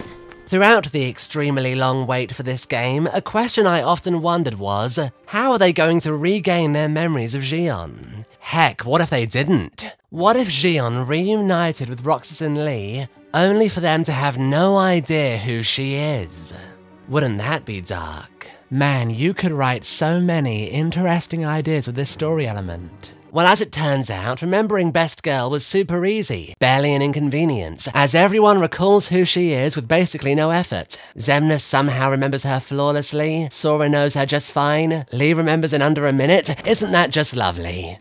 You know, I have a lot of thoughts on the decision to bring back every single tragic character in the series, so we can have a sweet little happily ever after ending. It's an extremely complex aspect of the series, and my feelings towards it go beyond being simply positive or negative. But Roxas, Axel, and Xion have some of the best writing in the series backing them. The character writing in 358 Days Over 2 is the best that Kingdom Hearts has to offer. So when I'm watching cutscenes centered around them that aren't very well written, I'm sorry, it's gonna stick out to me. And let's just be real, when you finished this game for the first time, you had no idea what was going on with Xion. Neither did I. And the DLC elaborating and essentially rewriting this segment is quite clear evidence it wasn't well written.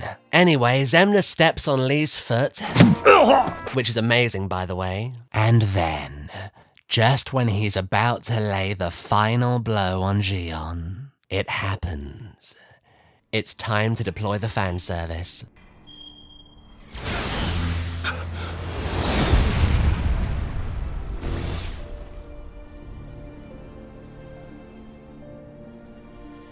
Hands off my friends.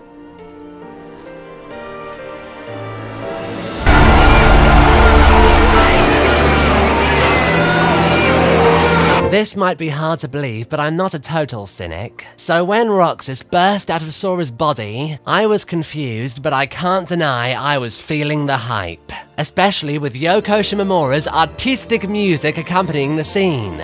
However, looking back on it now, Roxas gets one noteworthy moment in this game, and every single line is exposition. Most of the organization's members they traveled here from the past as hearts, and you had replicas ready and waiting. I owe my return to many. There was one last thing I needed in order for me to be whole again. I see you're filled with disbelief. You have not laid eyes upon me since we were mere beardless youths competing for the affections of the fair Lady Eleanor. Put aside your Roxas erections for a moment and look at the bigger picture. Personally, I always loved Roxas as a character because while he was undeniably badass, he was also naive and endearing. We all remember that moment in Days where he got a single day off from work and his only thought was ice cream, right? What I'm trying to say is it's cool he got this scene, but yada yada yada bad pacing, yada yada yada limited character moments, yada yada yada I can't be bothered to repeat myself this many times. But hey, if that take was too volcanic for you, that's okay. Because now it's time for the moment where Kingdom Hearts fans worldwide collectively pulled out a knife and stabbed themselves in the eye socket. Kairi! What difference does one little light make? You have others. Just as we have more darknesses to replenish our ranks. Should I even bother talking about this? What can I add to the conversation that hasn't been endlessly repeated? Do I have anything? Uh, let's see. Uh, no, no. Hmm. Oh, I know. Time to talk about that scene from earlier. The light in the darkness. It was you. You're the one who kept me from fading away. All I did was believe that you wouldn't. If I were to state that Kairi was poorly written in Kingdom Hearts 3, that would be about as unpopular as the front page of the Unpopular Opinion subreddit. However, there are of course defenders who insist her writing wasn't actually as bad as most claim. I imagine they say that while bursting into tears every time they see a screenshot of her. Earlier on, when every protagonist was Norted, it was Kairi's strong, powerful heart that restored them. If it wasn't for her hanging on to her adoration for Sora, that garbage scene would have been the end of them. See, guys? She is a strong character. I'm pretty sure most of you know why this is a dumb argument, but I promised I was going to address everything, so here we go. Kairi didn't save everyone because she's a strong character. She saved everyone because the script said she could do that. It isn't empowering, it isn't relatable. If I could compare Kairi saving the day by just being strong to another female character, I'd compare her to Mulan. Not quite. Oh no, no! Not that Mulan. The crap one. I'm Hua Mulan. No, you ain't. Yeah, this unfortunate travesty also starred a supposed strong character who was naturally powerful in the most unearned of ways. It's not a perfect comparison, especially because Kairi is definitely not as annoying as live-action Mulan. But my point is, just because a character does a good thing doesn't make them a good character, unless it's earned or developed in some manner. And for the record, I like Kairi. I sympathize with the fans of her who can never seem to get a moment of solace even now. If you want to see Kairi shine, then I stand with you on that. But I'm never gonna pretend the writing for her in this isn't a whole new world of utter shite. It almost feels deliberate as well. How could Nomura initially establish that Kairi was going to train in the hyperbolic time chamber so she would eventually get her own piece of ass kicking, only for it to turn out like this? Did he know what he was doing? Could it be possible? Seriously though, why does Kairi even have a Keyblade? What does it add to her character or story? The reason why she got access to one in the first place was pencils up nose levels of silly. If she had to wield any kind of weapon, give her something unique so she stands out, instead of another sodding Keyblade. Oh, and also, the way Kairi behaves in this cutscene is so emotionless, it's borderline creepy. Sora. I told you, Sora. You're safe with me. I told you, Sora. You're safe with me.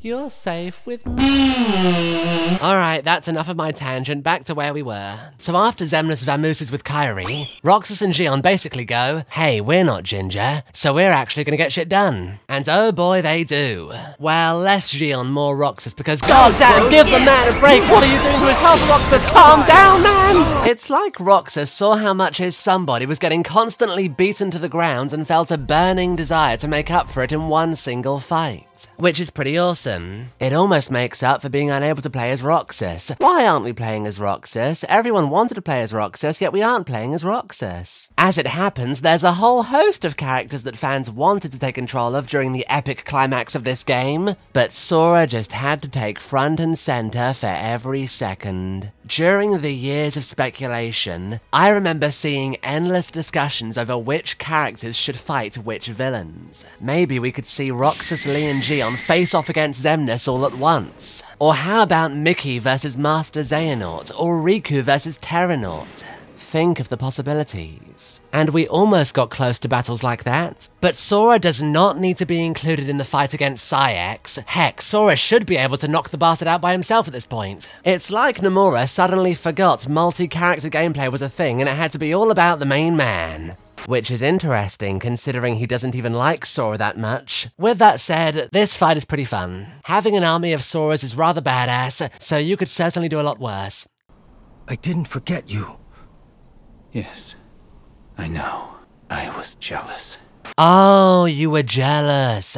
Oh, why didn't you say so? Alright, fellas, I take back everything I criticized Ice's character arc for. The endless mental torture and attempts at murder? All water under the even taller bridge, boys. This man said he was jealous. Understandable, 10 out of 10 moment, moving on.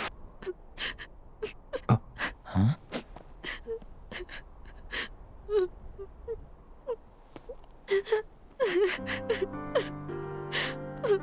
Ah. Guess I should have brought some ice cream.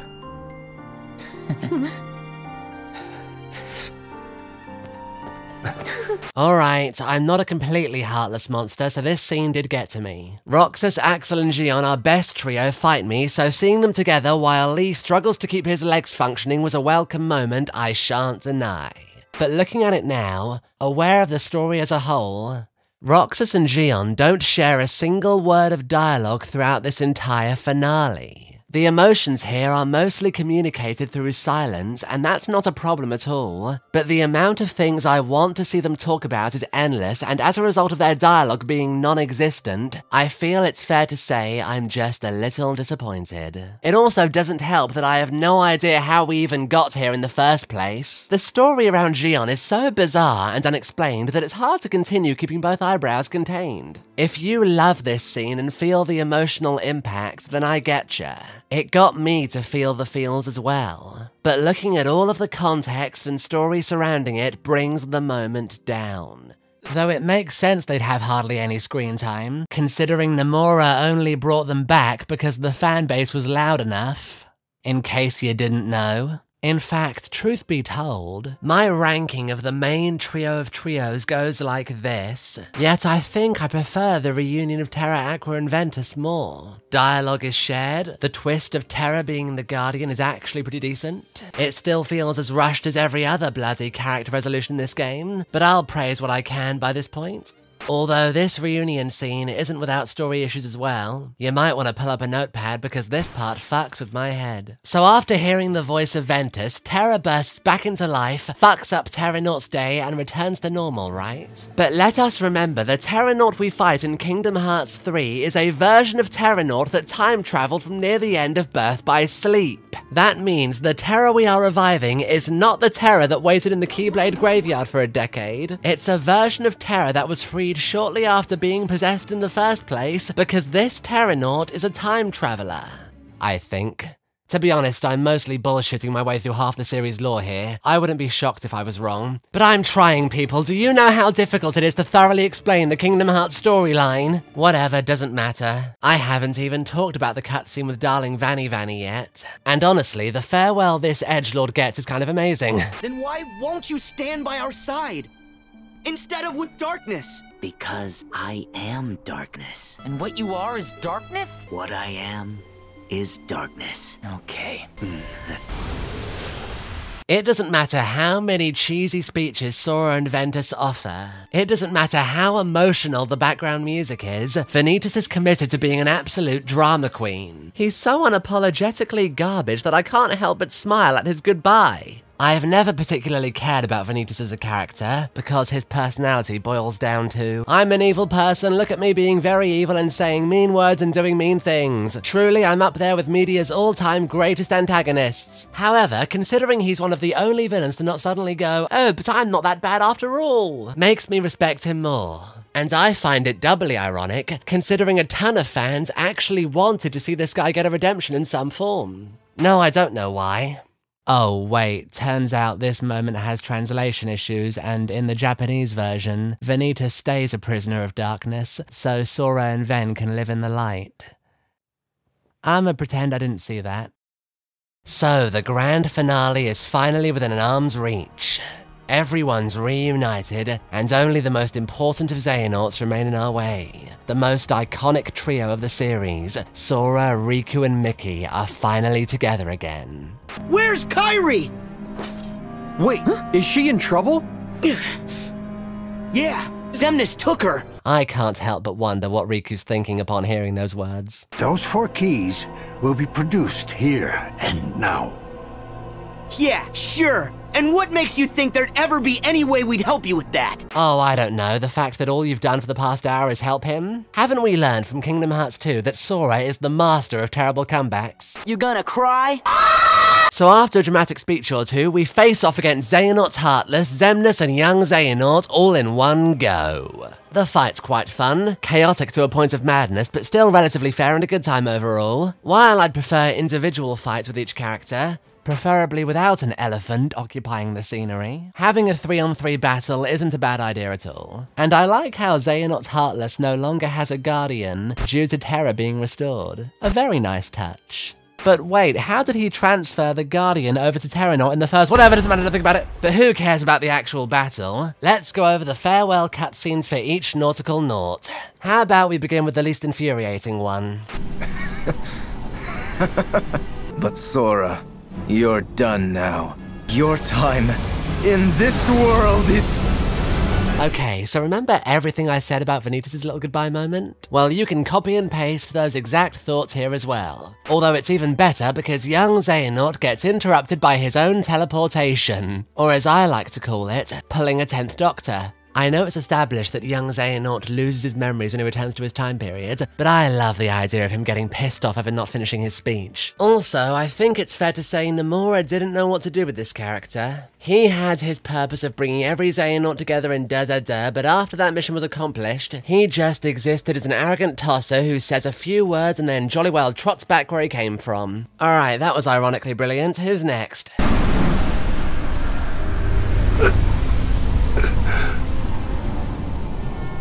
It's strange. I think I'm gonna miss you. Oh yeah, of course you are, Riku. I mean, the years of being haunted by the ghost of the worst mistake of your life? Over a year of being terrified that at any moment you may be corrupted forever? Wearing the face of that same person?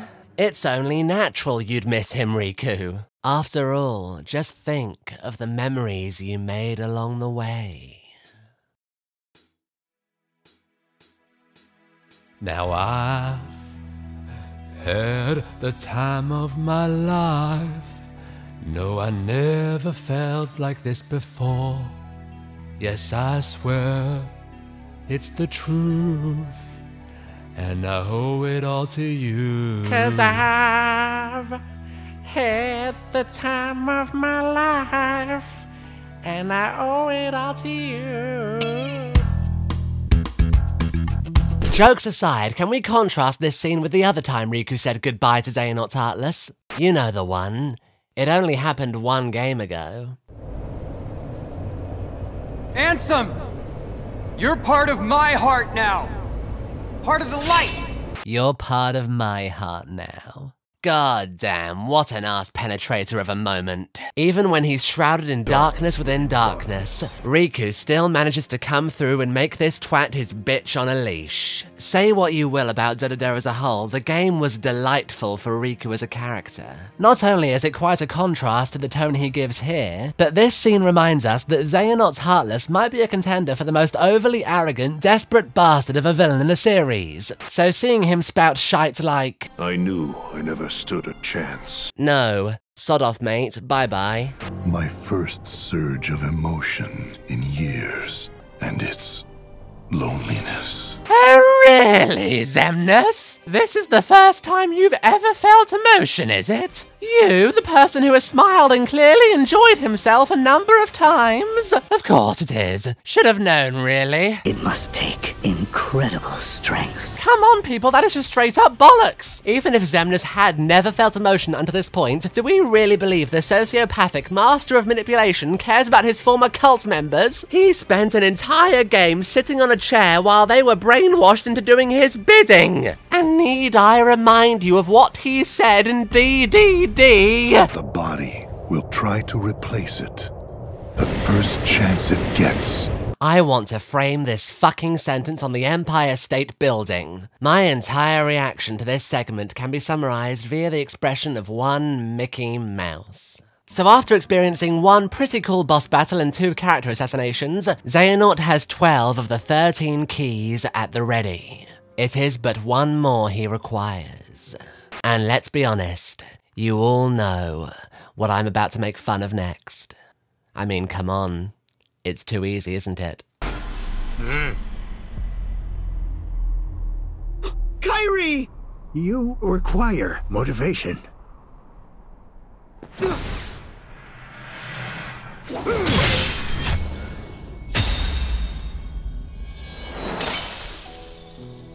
Before I continue, I think I should have a bit of maturity for a moment. I've thrown a large amount of shade at Tetsuya Nomura over the course of this video, and I understand that while it's intended to be playful, it may come off in poor taste. So allow me to clarify two important things. First of all, Tetsuya Nomura is not the only writer for the Kingdom Hearts series. Seemingly everyone likes to throw their praise as well as their critiques his way when there are so many more names behind the writing of this saga. I'm not going to go into detail, so I encourage you to do your own research, but my point is, for better or worse, Tetsuya is not the only person who decides how good or bad the writing for Kingdom Hearts is. Second of all, no matter how much I grow frustrated with the last several years of story decisions from this series, the degree at which Tetsuya Nomura has impacted my life cannot be overstated. The only reason I'm writing this almost 20,000 word video essay, fucking hell, is out of sheer passion for this stupid franchise that I love. So I want you to take all of that information and keep it in your mind when I ask this question. How is it possible the same series that produced one of the most beautifully heart-wrenching scenes in gaming can also produce a character death that is this garbage? Why her? Was anyone crying with Sora here? How do you feel any emotion other than sheer bewilderment? If you shed a single tear over this moment, it can only be because you're a Kairi fan, God bless you. Also, according to Xehanort, 13 battles with the Guardians of Light were necessary to forge the Keyblade, and apparently this qualifies as a battle. If all you had to do was backstab a Guardian, then why even bother setting up numerous battlefields? You should have just popped down to your nearest Moogle shop, purchased a Desert Eagle, and gone to town on everyone else. Although now that I think about it, I guess that explains why he sent the tornado to kill everyone. Because that apparently counts as a clash between 7 and 13. Fuck, this writing is brainless. And one more thing. Why does Riku take so bloody long to react to his childhood bestie being slaughtered? Xehanort! The only thing more depressing than Kairi's writing is the writing for her relationship with Riku these days. So after Kairi gets Kairi'd, Xehanort finally has all 13 keys at his disposal. Raising his weapon, he forges the Keyblade and shrouds Kingdom Hearts in darkness, causing a dark blue meteor shower of sorts. Sora's about to give up once again, but his worries are quenched when Donald, Goofy, and the rest of our rescued heroes return to him. Sorry we took so long. Had a couple of plot points that needed ironing out. Hmm? The, the, that's it. Just a glance. You see someone with the same body as you, and you just a hmm, and then that's it. All good. Oh, no, okay, all right then. The gang seems unsure of what to do, but it's okay because we have Mickey Mouse and the most badass front flips ever known. Mr. Mouse has a plan to trap Xehanort, and even after rewatching this cutscene multiple times, I'm still not sure what that plan is. Something about Xehanort being a portal which they can use against him? Look, it doesn't matter. Point is, big Keyblade laser beams whack him in the face. Mickey asks Riku and Aqua to assist him in knocking out the old tosser, but Sora steps in because over the past few hours he's grown rather fond of being a glory whore. One flash of light later, and we find ourselves in the undeniably more interesting final world, Scala ad Caelum. Now this, this is a final world. Colourful but mysterious, intricate and detailed, intriguingly mystifying music. I can't wait to be able to explore it. Look, you already know how shafted this area was. There ain't no point in me making this joke, nor is there any point in discussing what has already been discussed to a universally agreed extent. Anyway, one cutscene later, in which Sora continues to harbour the worst reaction speed known to mankind, and we begin the final boss rush of the Xehanort saga. And these bosses are some of the worst battles I've ever been subjected to. Nah, I'm just kidding, they're all pretty good. The first one has Xehanort splitting into several individual entities, all disguised as goats and all sharing a health bar. It's pretty unique and engaging, with a sexy little Easter egg here and there. The following battle divides itself into multiple segments, and while it's a little gimmicky, it's still enjoyable, and the battlefield is consistently interesting visually. There is one sky, one destiny. he said the thing! He said the thing! And the final battle is probably the best boss fight in the base game. Xehanort has consistent patterns, attacking him feels satisfying, you get to make use of guarding in midair. It's also the only boss in the game to contain a genuinely creatively epic moment that caught me off guard. Would I say it's as good as the most amazing, satisfying, legendarily incredible final boss ever crafted by humanity? No, but that's okay, because that's one hell of a bar to grab hold of. Now, with all that said, this did not feel like a final boss. A staple of the numbered Kingdom Hearts titles is at least one ginormous airship comprised of several different pieces, all of which you have to destroy in an effort to bring the antagonist down. Honestly, this battle right here might be even better than Final Xemnas. The chills it gives me can't be understated. As much as I do like this battle, I was extremely surprised to learn upon my initial playthrough that this was it. Heck, Xehanort doesn't even change outfits. He doesn't wear the skin of Marty from Madagascar. He couldn't even be bothered to take his shirt off. What a disappointment. I want my money back square. Oh, and one more thing. Why is defeating Master Xehanort even a struggle? Terra managed to beat him with relative ease in Birth by Sleep, and I highly doubt he's stronger than Sora, Dolan, and Gooby combined. Yeah, I know he has the Keyblade, but so did Vanitas, and Ventus still defeated him despite being an inexperienced child. Whatever, I'm nitpicking now. Let's just get to the end already. Sora, finish the job.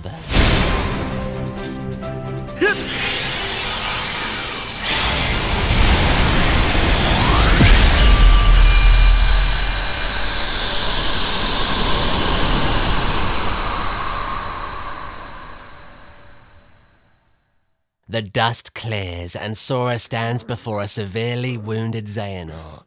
We're finally here, ladies and gentlemen. the final cutscene with the antagonist of the entire series up to this point. Once this segment comes to a close, the Dark Seeker saga will as well. And what better way to finish this story than by giving Xehanort the most polarizing ending ever? The light of Kingdom Hearts. It can give us a new start. No. An empty world. Pure and bright. Stop. The world needs someone to stand up and lead to stop the weak from polluting the world with their endless darkness. Desist! In a dazzling set of lights, the rest of the Kingdom Hearts fam squad descends in front of Sora. And I think by this point, Nomura has just given up trying to explain how things happen. Also, if there is one character the PS4 graphics have been especially flattering to, it would undoubtedly be Terra. Like, he was a dashing enough lad to begin with, but this game said he needs to go full handsome Squidward and never look back. After a brief stare down, Eraqus materializes from inside Terra's body. Approaching Master Xehanort, he goes, Hey, stop being a big meanie. And Xehanort's like, Okay, I'll stop being a big meanie. Eraqus shares a heartfelt goodbye with his students, although I think it would have been significantly more meaningful if Terra referred to him as father. You know, what with birth by sleep implying such a connection. Anyway, Xehanort joins Eraqus in a bro hug, and together, they ascend into what I assume is Kingdom Hearts Heaven, where they can reflect on the many memories they made.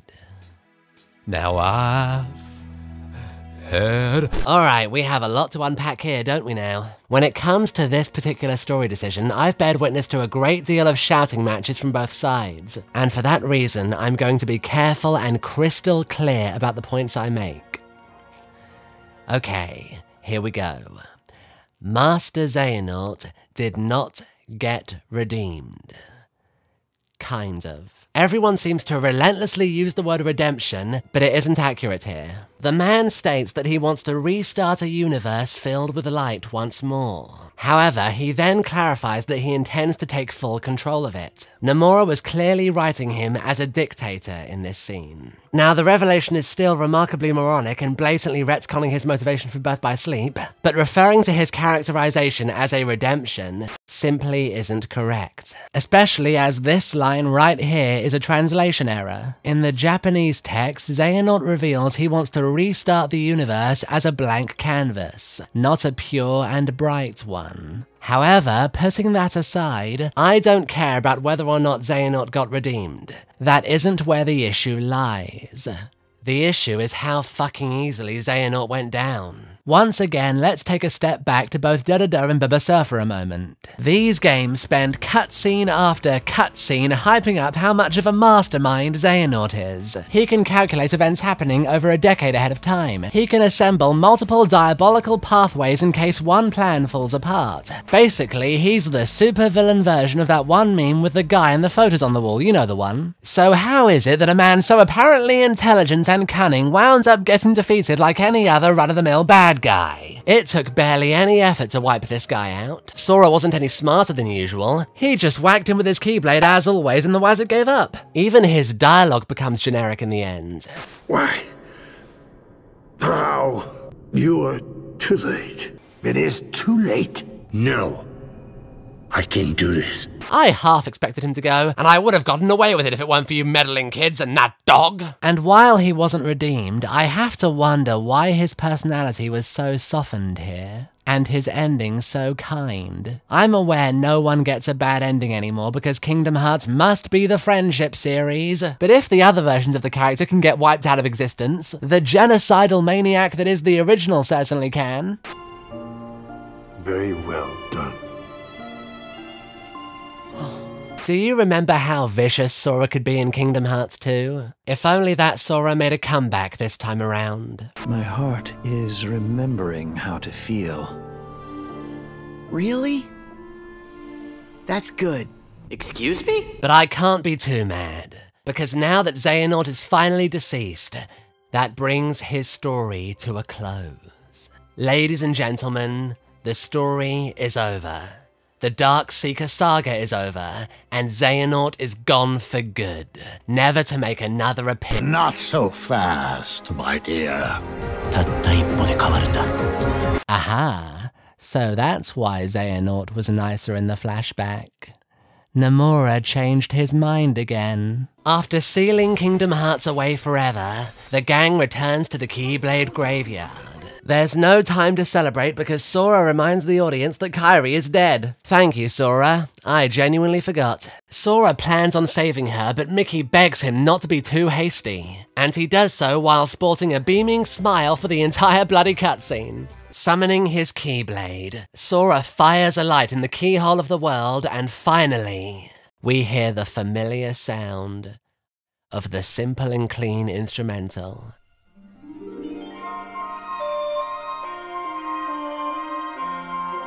Many a happy reunion is shared, as well as the unfortunate reminder the mobile gacha game exists. And as we see Roxas, Lea, and Xion meet up on the Twilight Town clock tower for old time's sake.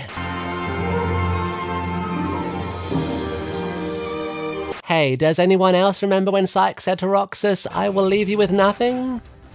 No, just me? Okay. But best of all, if you're a Namine fan who felt this walking angel got just a little bit shafted, don't worry, because she's finally given a whole one scene of being on screen. She gets brought back in a brand new body, wakes up to the faces of those who let her get captured, makes her way into Radiant Garden, and in a true twist of events, the most romantic scene in Kingdom Hearts 3, complete with flower petals and all, didn't belong to Sora and Kairi.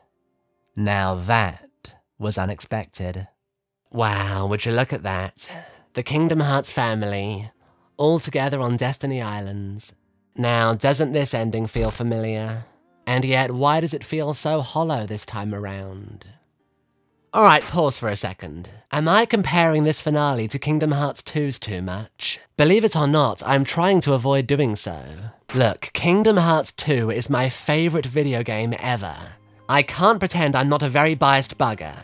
And hey, it's not like Kingdom Hearts 2's ending was perfect either. But... But... Actually, you know what? Fuck that. Kingdom Hearts 2's ending was perfect. We'll go together. Yeah. Yeah, of course it didn't always make the most sense. The door to light appearing out of nowhere to save Sora and Riku just because Sora read Kairi's letter and got sad has barely a thread of logic to it. The all-powerful, all-vague machine of Ansem's conveniently managing to restore Riku back to his original form is a little shoddy. I could nitpick and critique Kingdom Hearts 2's ending all day long, but I won't, because in terms of giving the intended emotional feeling to the player, Kingdom Hearts 2 delivered more than I ever could have asked for. The build-up was perfect, the character resolutions made sense, and the battles are the highlights of the entire franchise to this day. I don't care that certain aspects of it were illogical, and guess what? My problem with Kingdom Hearts 3's story isn't that it's illogical either, especially considering some of the most beloved stories of all time are completely devoid of any logic whatsoever. But here's the thing. There is a fine line between frustratingly illogical and whimsically illogical. Most of the Kingdom Hearts series falls on the latter half of the grid, while Kingdom Hearts 3 sadly falls into the former. I understand why you might be upset by how often people compare these two games, rather than viewing them individually. But the reality is, you can't play through this game without making comparisons, no matter how much you may want to consciously avoid it. Anyway, I love that the entire Kingdom Hearts family was invited to Destiny Islands, even Hayner, Pence, and Olette. But meanwhile, Tidus, Selphie, and Wakka were given a thorough middle finger. Because Nomura said, fuck Final Fantasy, who even gives a shit about that series? We're a strong independent franchise that don't need no weeb trash. But the party can't last long. Because as everyone looks towards the Paopu tree where Sora and Kairi rest, a single tear rolls down Kairi's cheek, and Sora fades away.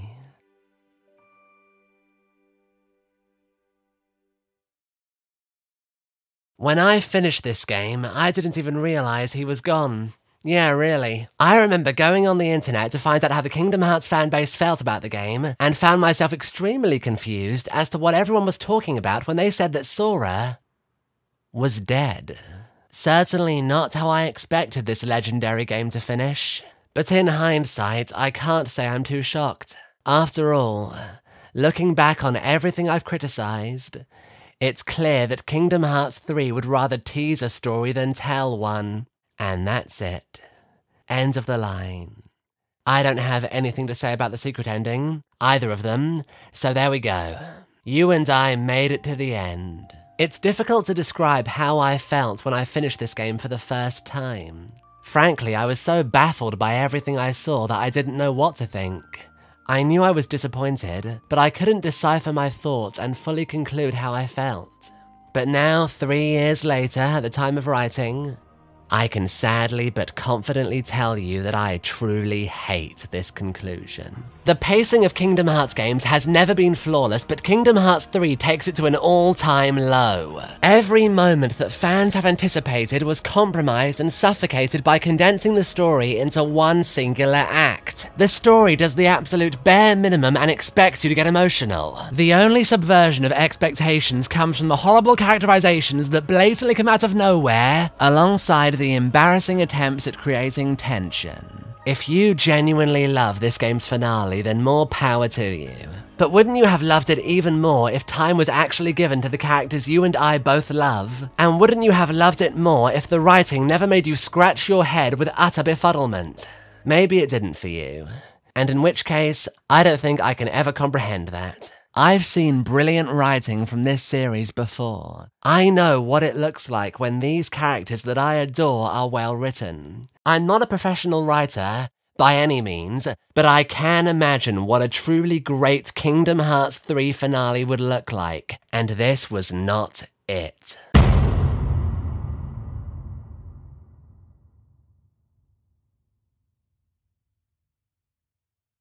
So this is a brand new Kingdom Hearts 3 trailer that dropped this morning. Uh, I, I, I believe was premiered initially at the recent uh, Kingdom Hearts World Orchestra. And uh, essentially, it's it's what Nomura and Square have been talking about for the last couple of months. On the 11th of June 2019, the first trailer for Kingdom Hearts 3 Remind released. It showed potential, but little was shown. On the 9th of September 2019, the second trailer for Kingdom Hearts 3 Remind released. It showed further potential. People were getting excited. On the 10th of December 2019, the final trailer for Kingdom Hearts 3 Remind released.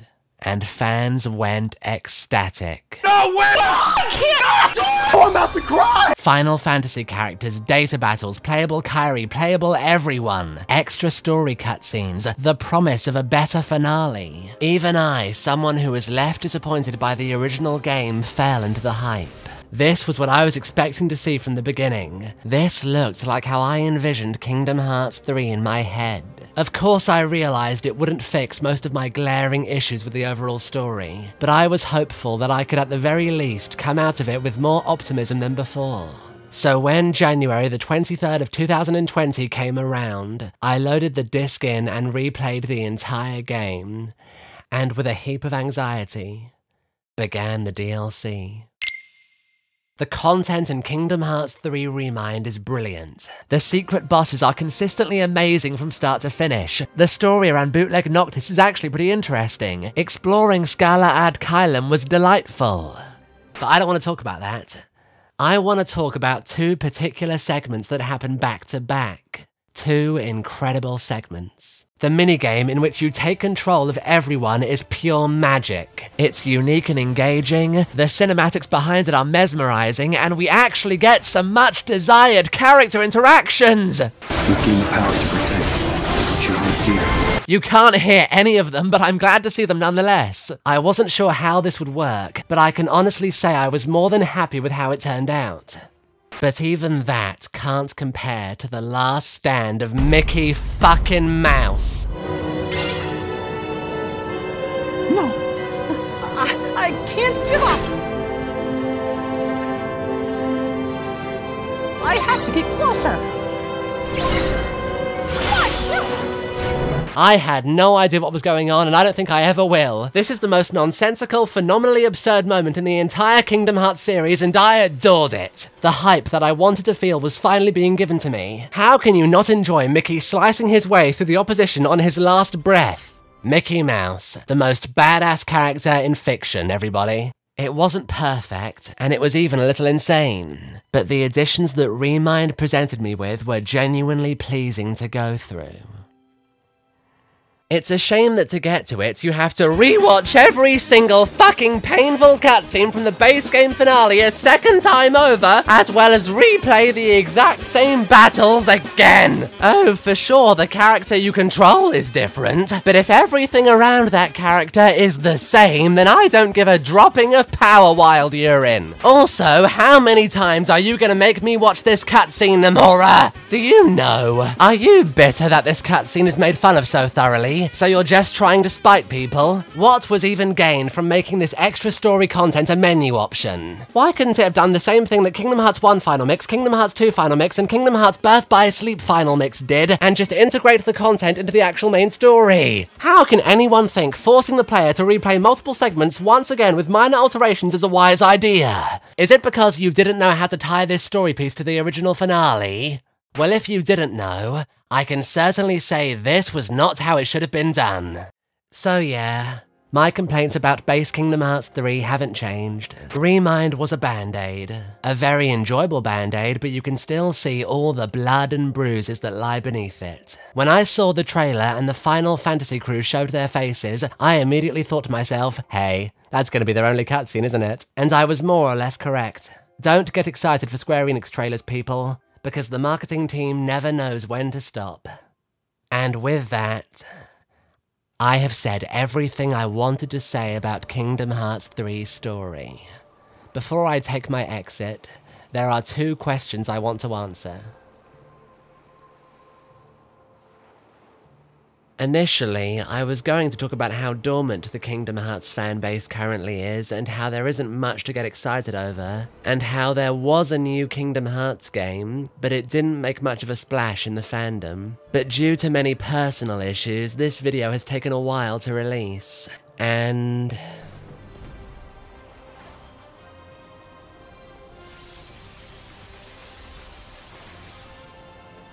But I still want to talk about this anyway. From 2020 to 2022, the Kingdom Hearts fanbase was in a weird spot. In some ways, the community became more quiet than it had been in over a decade. The details of what would happen next in the series were vague, and there wasn't a lot to be excited over. And yet, even after the next numbered title was announced, it still feels like the fanbase is quieter than it was last time, but still especially fractured. Granted, it's always been divided to some degree. You can find adoring fans of every game in the series, just as you can find plenty of critical players who aren't happy with the direction the series has gone. And it feels like with Kingdom Hearts 3, both sides exist in equal measures more than ever before. I think going forward, a very large portion of fans are going to be cautious with their excitement for any new installment. Never forget that Kingdom Hearts 3 was one of the most hyped up video games of the decade. And while for many it delivered, for a lot of us, myself included, something changed. The excitement that we harbored over this long running story couldn't be fully retained, especially as the next portion of the Kingdom Hearts storyline is centered around a fucking mobile gacha game. Or games. Every time a new game in this series releases, you're gonna buy it day one and so will I. But there's been a growing argument that the series should have ended 17 years ago, and while I'm not prepared to agree with that, I've definitely accepted that my favourite era of this series will never be recaptured. Every Kingdom Hearts fan has at least one frustration with the story, and I hope Nomura understands that. In fact, I'd like to draw your attention to this interview paragraph. Here, Nomura clarifies how when writing the final act, it was difficult to decide where to place the focus and how to pace the events. It feels evident in this text that he was severely struggling under the weight of all the build-up he'd let get out of control.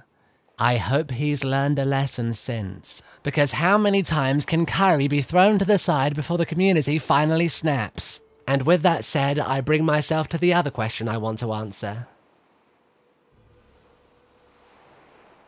As I said before, there are aspects of the story that I'm still interested in. Yozora is the most fanfictiony inclusion in the franchise so far, and yet, there is something at least a little captivating about his story. But I can't pretend I'm as excited to see where the series goes as I want to be. I can't pretend I'm invested in what the characters do because the Kingdom Hearts cast is too absurdly clogged for it to matter. Unless different characters garner a bit of center stage for a change, I can't act like I'm enthusiastic for where their stories take them. Especially since I despise what has happened to half of the characters to begin with. To say I'm a Kingdom Hearts fan is underselling it. There hasn't been a day of my life in the last decade where I haven't thought about this series. Sometimes for a minute, sometimes for hours. I'm always going to care about the story of this franchise to some degree, but when it comes to maintaining my investment in the story as it continues, I'm significantly more concerned than I ever want to be. I'll end this video on one final note. There is going to be at least one commenter on this video who reprimands me for having high expectations. It's an easy and frequent argument to make that fans were just too excited for the game to release and set their standards too high as a result. First of all, I'm not the kind of person who gets excited for pieces of media. My expectations didn't go far beyond halfway decent pacing and writing decisions that made sense. And second of all, I'm sorry, did you not have expectations for a video game titled Kingdom Hearts 3?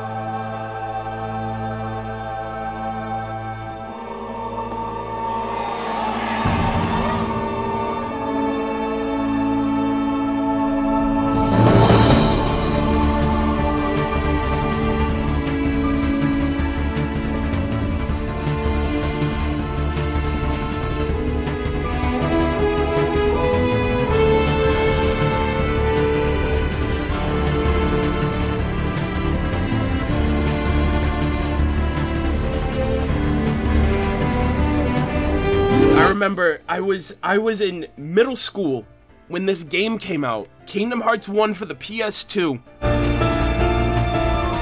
Is it too alien to not have a complete experience for something you waited so long for?